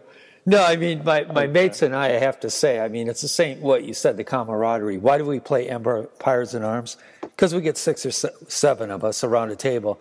We drink beer, we give each other shit nonstop for ten hours, right? And we roll some dice and have some fun. And uh, it, the more that we can put in the games, uh, the better, especially for all of us old men these days. It's good to spend time, you know, in groups as opposed to just two player games. Yeah, I'd, I'd love to see more of it. I could I could echo that, and I, I agree with what uh, what what Volko said. I think this this particular game, um, uh, here come the rebels. That that that works fine for teams, and and all the counters are pretty much already set. You know, for the units, you, you know, are separated, and each commander has his own group of units that he controls, and you know, you can like like like Dave did. He you know he doled out each player with one commander, and he commands his units, and and um, um, and, and yeah, I, I mean, in, in in an environment like this, I I you know I I never really consider there being any downtime, you know, air quotes. Um, You know, even if my units are in a position where they're just sitting and doing nothing and maybe just holding their ground somewhere, waiting for something to happen, I, you know, it's which they it's- were most of the game. yeah, but it was still. it- I was still, you know, uh, my attention was still held by what was going on because, which I had to be, you know, because you never knew when, you know, all of a sudden, oh, now you you know things have changed and and and now I got to move my unit somewhere and do something. So, um, and um, And you rolled a one. And I always rolled a one, yeah, yeah, you know, but. Uh, uh, Yeah, Roberto and I had at least one situation where I think we trade we alternated rolling ones for for about ten impulses in a row. yes. That'll make the game seem longer than it is, I think. Anyway, I want to I want to thank you uh, uh, once again, Dave, for uh, you know providing us with you know the idea to try out this this, this system for all the work we've done to organize the multiple also ideas to how we can play the future other games that uh, may lend themselves for the kind of uh, or you know split up if you want. Um, Professor David Banks was up. I exchanged some some notes with him, and he said that um, first of all, it's doing it's doing fine. Although also they are in in pretty pretty serious lockdown in London at this moment. He's trying to raise money for the uh, war, uh, the Department of War Studies to organize. Uh, uh, to to hire a couple of PhDs in uh, military history and uh, wargaming. So he's just started, uh, so he's doing well, but uh, he doesn't have much time to join us at 3 a.m., of course. So um, uh, it's, it's a little bit tough for him to join this call. So uh, Jim also said that he- he's pretty busy this time, so he can't, uh, can't provide us with the next game. So keep your up. Uh, in Jim doesn't the look next particularly busy tonight. He looks like he's got plenty of time on his hands. I don't know. He's been he's Yeah, been sort of I- I- multitasking while while listening to all of us there. I, yes, I saw him doing a lot of a lot of many things. But Jim, There's a of course, lot of pressure on, on you on this choosing the next game. Um, and initially, I was talking to Phil, and initially, Phil and well, Phil was supposed to, but then he had some surgery and couldn't do it. But we uh, we got asked to help proctor some games at what is it, the Marine War College or whatever down in Quantico. Quantico. And uh, the game that we ended up doing was for the Mark Herman's for the People, which um, I don't know. We must have played about a dozen times, Phil, to the point where we actually got all the rules right. I think it's Yeah. um, and then I went down and spent a day. Uh, Lacey, Jim Lacey, who's a great guy that I came with on at the Keeson Club. I mean, he's written a couple of some really good books. A really good book on the Second World War. You know, politics in Washington during the Second World War that I recently read. But anyway, so we're thinking of that. But I, to tell you the truth, after playing Phil about a dozen times and then watching eight hours of it uh, by all these Marine majors and colonels, I think I I love the game. Actually, I don't know if it- it's an old game, but I love absolutely adore the game. But I don't know that I could stand playing it uh, right now for another couple weeks. So it occurred to me um, because I think that uh, the multiplayer thing is really useful for us, and I'd kind of like to. I mean, the uh, the game that we just played was kind of what I would say heavy. You know, kind of uh, you know high entry level, lots of rules. You know, we needed uh, to be guided. Um, a game that I think we've played, and, and I'm I'm sure that several of you are going to hate me for this. Is uh, there's a new edition of Struggle of Empires out. Well, uh, I think we had a great discussion. Uh, I think it was what we, we had a lot of opinion about the game, which uh, which is really what we want. You know, we want a game that uh, spark a lot of conversation, different opinions, uh, point of view. It allowed us also to branch into a, little bit other games. Uh, uh, uh, David brought up, uh, um, I think, uh, what was it, Empires in Arms. You know, I, brought up of Glory. Anyway, I think that's what we want you know, explore a little bit what are the challenges that the game, the game gave us. And overall, I think uh, we all had fun playing it, uh, notwithstanding some of the cons. And, uh, you know, let's play, you know, uh, the, um, the struggle of empire now.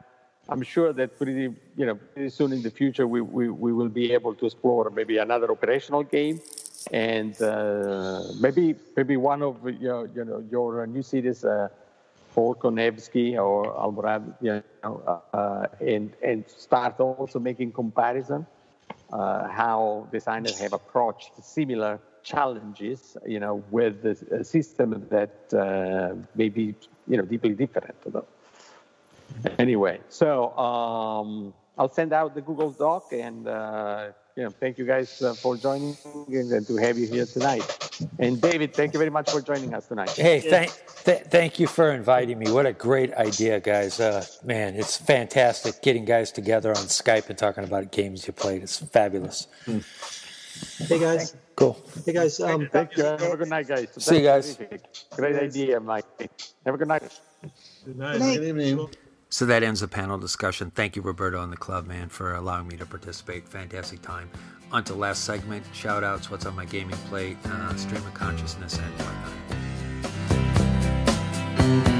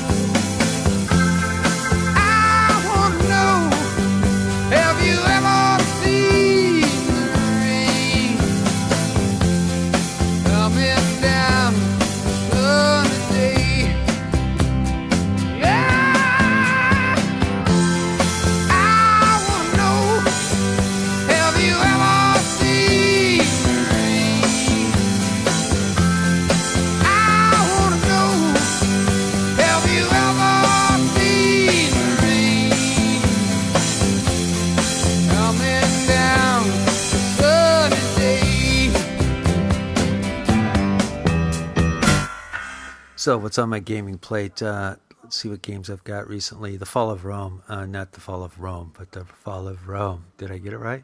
Um, the uh, who was he? Um, Germany, right? Uh, 33, 32. Was he in charge of the S, uh, SS? I or the brown shirts? Um, I, anyways, I I, I got to play the game. I got uh, a bug in my ear to.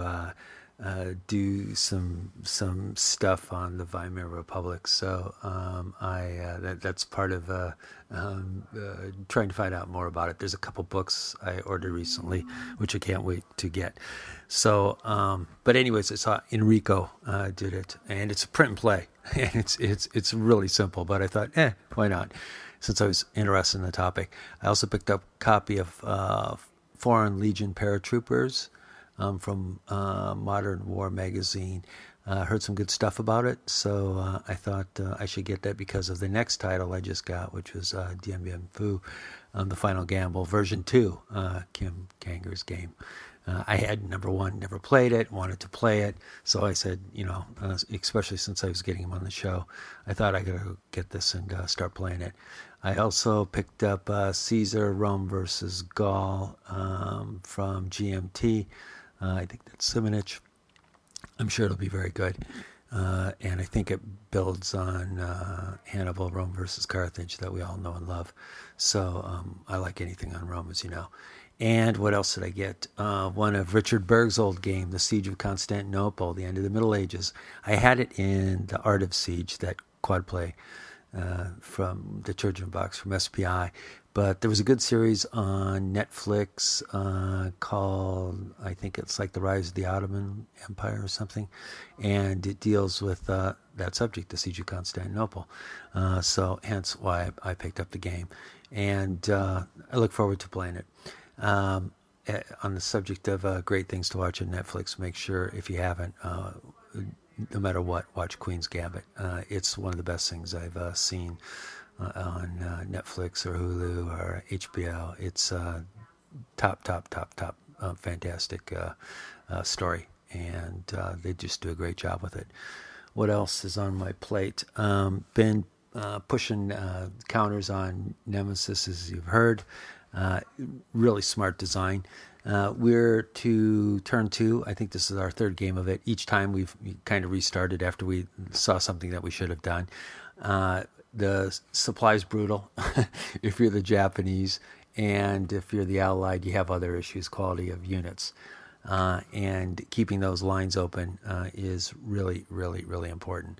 So, um, uh, but it's it's really cool. Uh, again, how it works is uh, each side has four chits. Uh, one's attack, one's assault, one's reinforce, and one's supply. Supply and reinforce self-explanatory. Attack allows you to um, move one space any of your units and uh, designate three spaces to be attacked, and then you can throw in as or hexes, and you can throw as much around it as as uh, you can manage. And assault is you get three three assault three assaults also, but you can only use one hex to attack another hex, and your units can move. So the order th- in which those come out is random, other than the first chit. Uh, you get to pick which you, you do there. Um, so it's, I mean, the rules are, are, there's not much rule. There's like less than 16 pages, but there's a lot of, you know, it's not nuance. It's not fiddly in any way, shape, or form. But you you do something and go, oh yeah, that's right. I I, I got to worry about that in terms of supply, or I got to set up this in terms of attack, and uh, uses a really cool strategic will system, as I would define it, where basically you're trying to make your commander and the uh, allied, you're trying to make Churchill happy, uh, uh, the Japanese Hirohito, um, or make them happy and don't piss them off. If you piss them off, uh, your will sort of goes too too low and you can lose the game. Um, and every many parts of the game then um, do uh, puts and takes on that strategic will. So um, I'm really enjoying it. Um, what else? Um, starting to uh, Triumph of Chaos again soon with my friend uh, Bob Heinzman. Uh, we had b- been playing a bunch this year, but uh, then I was too busy with work. So uh, really looking forward to getting back at that at the holidays. Trying to track down my playtest kit. JR Hawkeye, you got it. My playtest kit uh, for Triumph of Fascism. That's I just I think we're you know we're getting near the later stages of playtesting. So if I can uh, get some uh, good hardcore brutal uh, playtesting done on that, we'll find out whether or not that's going to see the light of day. But uh, the art's done, uh, except for the, the map hasn't been started. But that's a that that'll be a piece of pie. I'll toss it to. Uh, um, hopefully, Terry Leeds will take it because he. I I just think he's a, a fantastic graphic designer, and um, the counters are done, cards, all that stuff. Uh, rules, I think, but uh, obviously, uh, famous last words once it goes into hardcore playtesting, and uh, uh, good playtesters beat the hell out of it and tell you what start over, do this, drop this.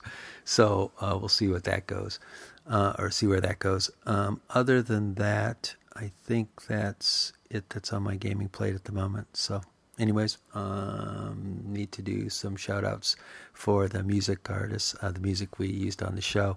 Uh, can't stress enough. Download some of these songs. They're only a buck, and uh, these songs uh, at least give myself joy. I'm sure it gives a bunch of people joy. Uh, those of those of you that like music on the podcast, those of you that don't, say la vie. You know, there's a lot of choices. So, anyways, Music on this episode of Guns, Dice, and Butter, uh, Sweet Child of Mine, uh, Great Thunder and Rain, uh, outstanding cover. Uh, next is Electric Soul by Rodrigo and Gabriela um, Pleva, thanks for the tip. Uh, next is Going Down by Flow in the Machine, and there's another guy on it too. You just Google that for like a cover and you'll, you'll find it. Um, Sinatra, That's Life. After that, uh, Prison to Heaven, love that song. Avett Brothers, just discovered that recently. Tennessee Stud by Susanna Chaffel, I think was the next one. After that, uh, All My Tears by, which is a cover of Emmylou Harris by Hayde Bluegrass Orchestra. Um, Have You Ever Seen the Rain by CCR. Um, a Little Wizard of Oz to come. And uh, what else? We'll end it with uh, one of my favorites, man. I feel all right. Uh, seems appropriate for the time. Uh, Steve Earle. More shout outs. I never know when these uh, podcasts will be published. It looks like uh, November 11th, 2020 is going to be the magic day this time. So, uh, big, big uh, thank you to the veterans um, of our country that gave so much and have given so much to serve our, our fantastic country and republic. And thinking about you, Pop. Ah, one more shout out. Uh, that goes out to uh, my uh, gaming mate and good friend now, uh, Roberto uh, from SwampCom. He's the one that uh, organized the call for the panel discussion on the great campaigns of American Civil War. The name of the club that they've put together is The Good, the Best, and the Glorious, a virtual game club to play and talk games during the pandemic. On that call were, of course, Roberto, myself, Volko, Dave C., Phil Rodriguez, Kip, Mike Singler, uh, Paul Dobbins, uh, Mark Mitchell, Jim Stevens, and Babe. That's right. So, anyways, thanks a lot, guys, uh, for uh, including me uh, on that uh, call. Let the joyous news be spread. The wicked old witch at last is dead.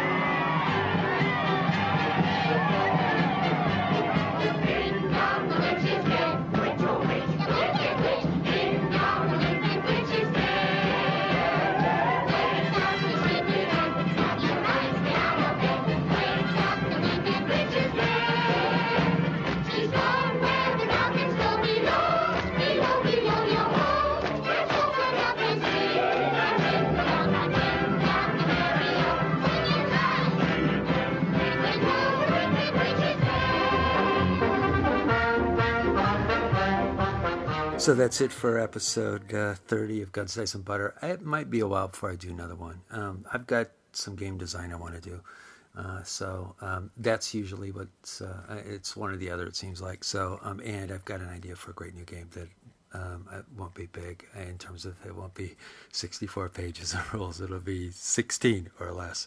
Um, but uh, just uh, ran across a historical subject that I think would make for an outstanding game, and I don't.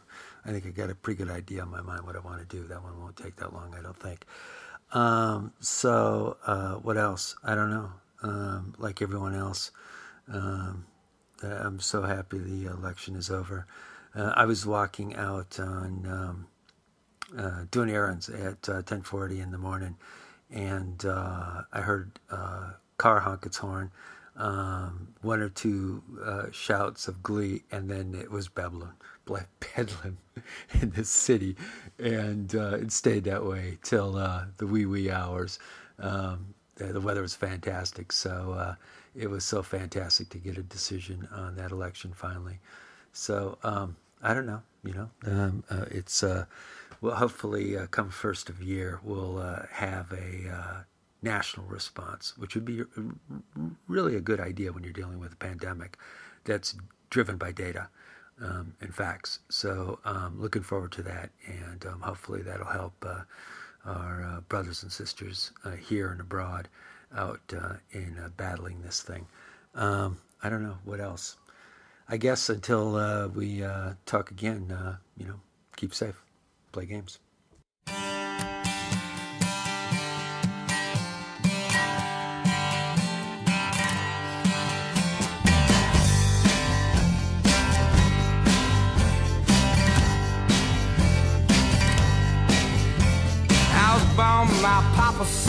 Son wandering out a smoking gun. Now some of you would live through me, then lock me up and throw away the key. Or just find a place to hide away and hope that I'll just go away. Huh. I feel alright? I feel alright tonight feel alright. I feel alright tonight. And I bring you precious contraband and ancient tales from distant lands. Conquerors and concubines and conjurers from darker times. Betrayal and conspiracy, sacrilege and heresy. Feel alright. I feel alright tonight. I feel alright. I feel alright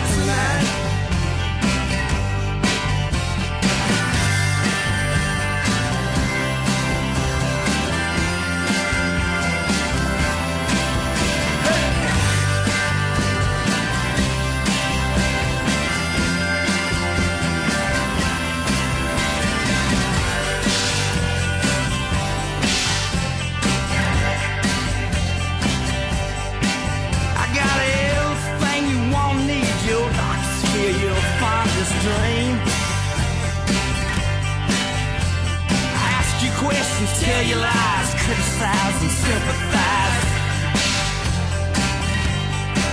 Yeah, but be careful what you wish for, friend, cause I've been to hell and now I'm back again. I feel alright. Yeah, I feel alright tonight. Yeah, I feel alright. I feel alright.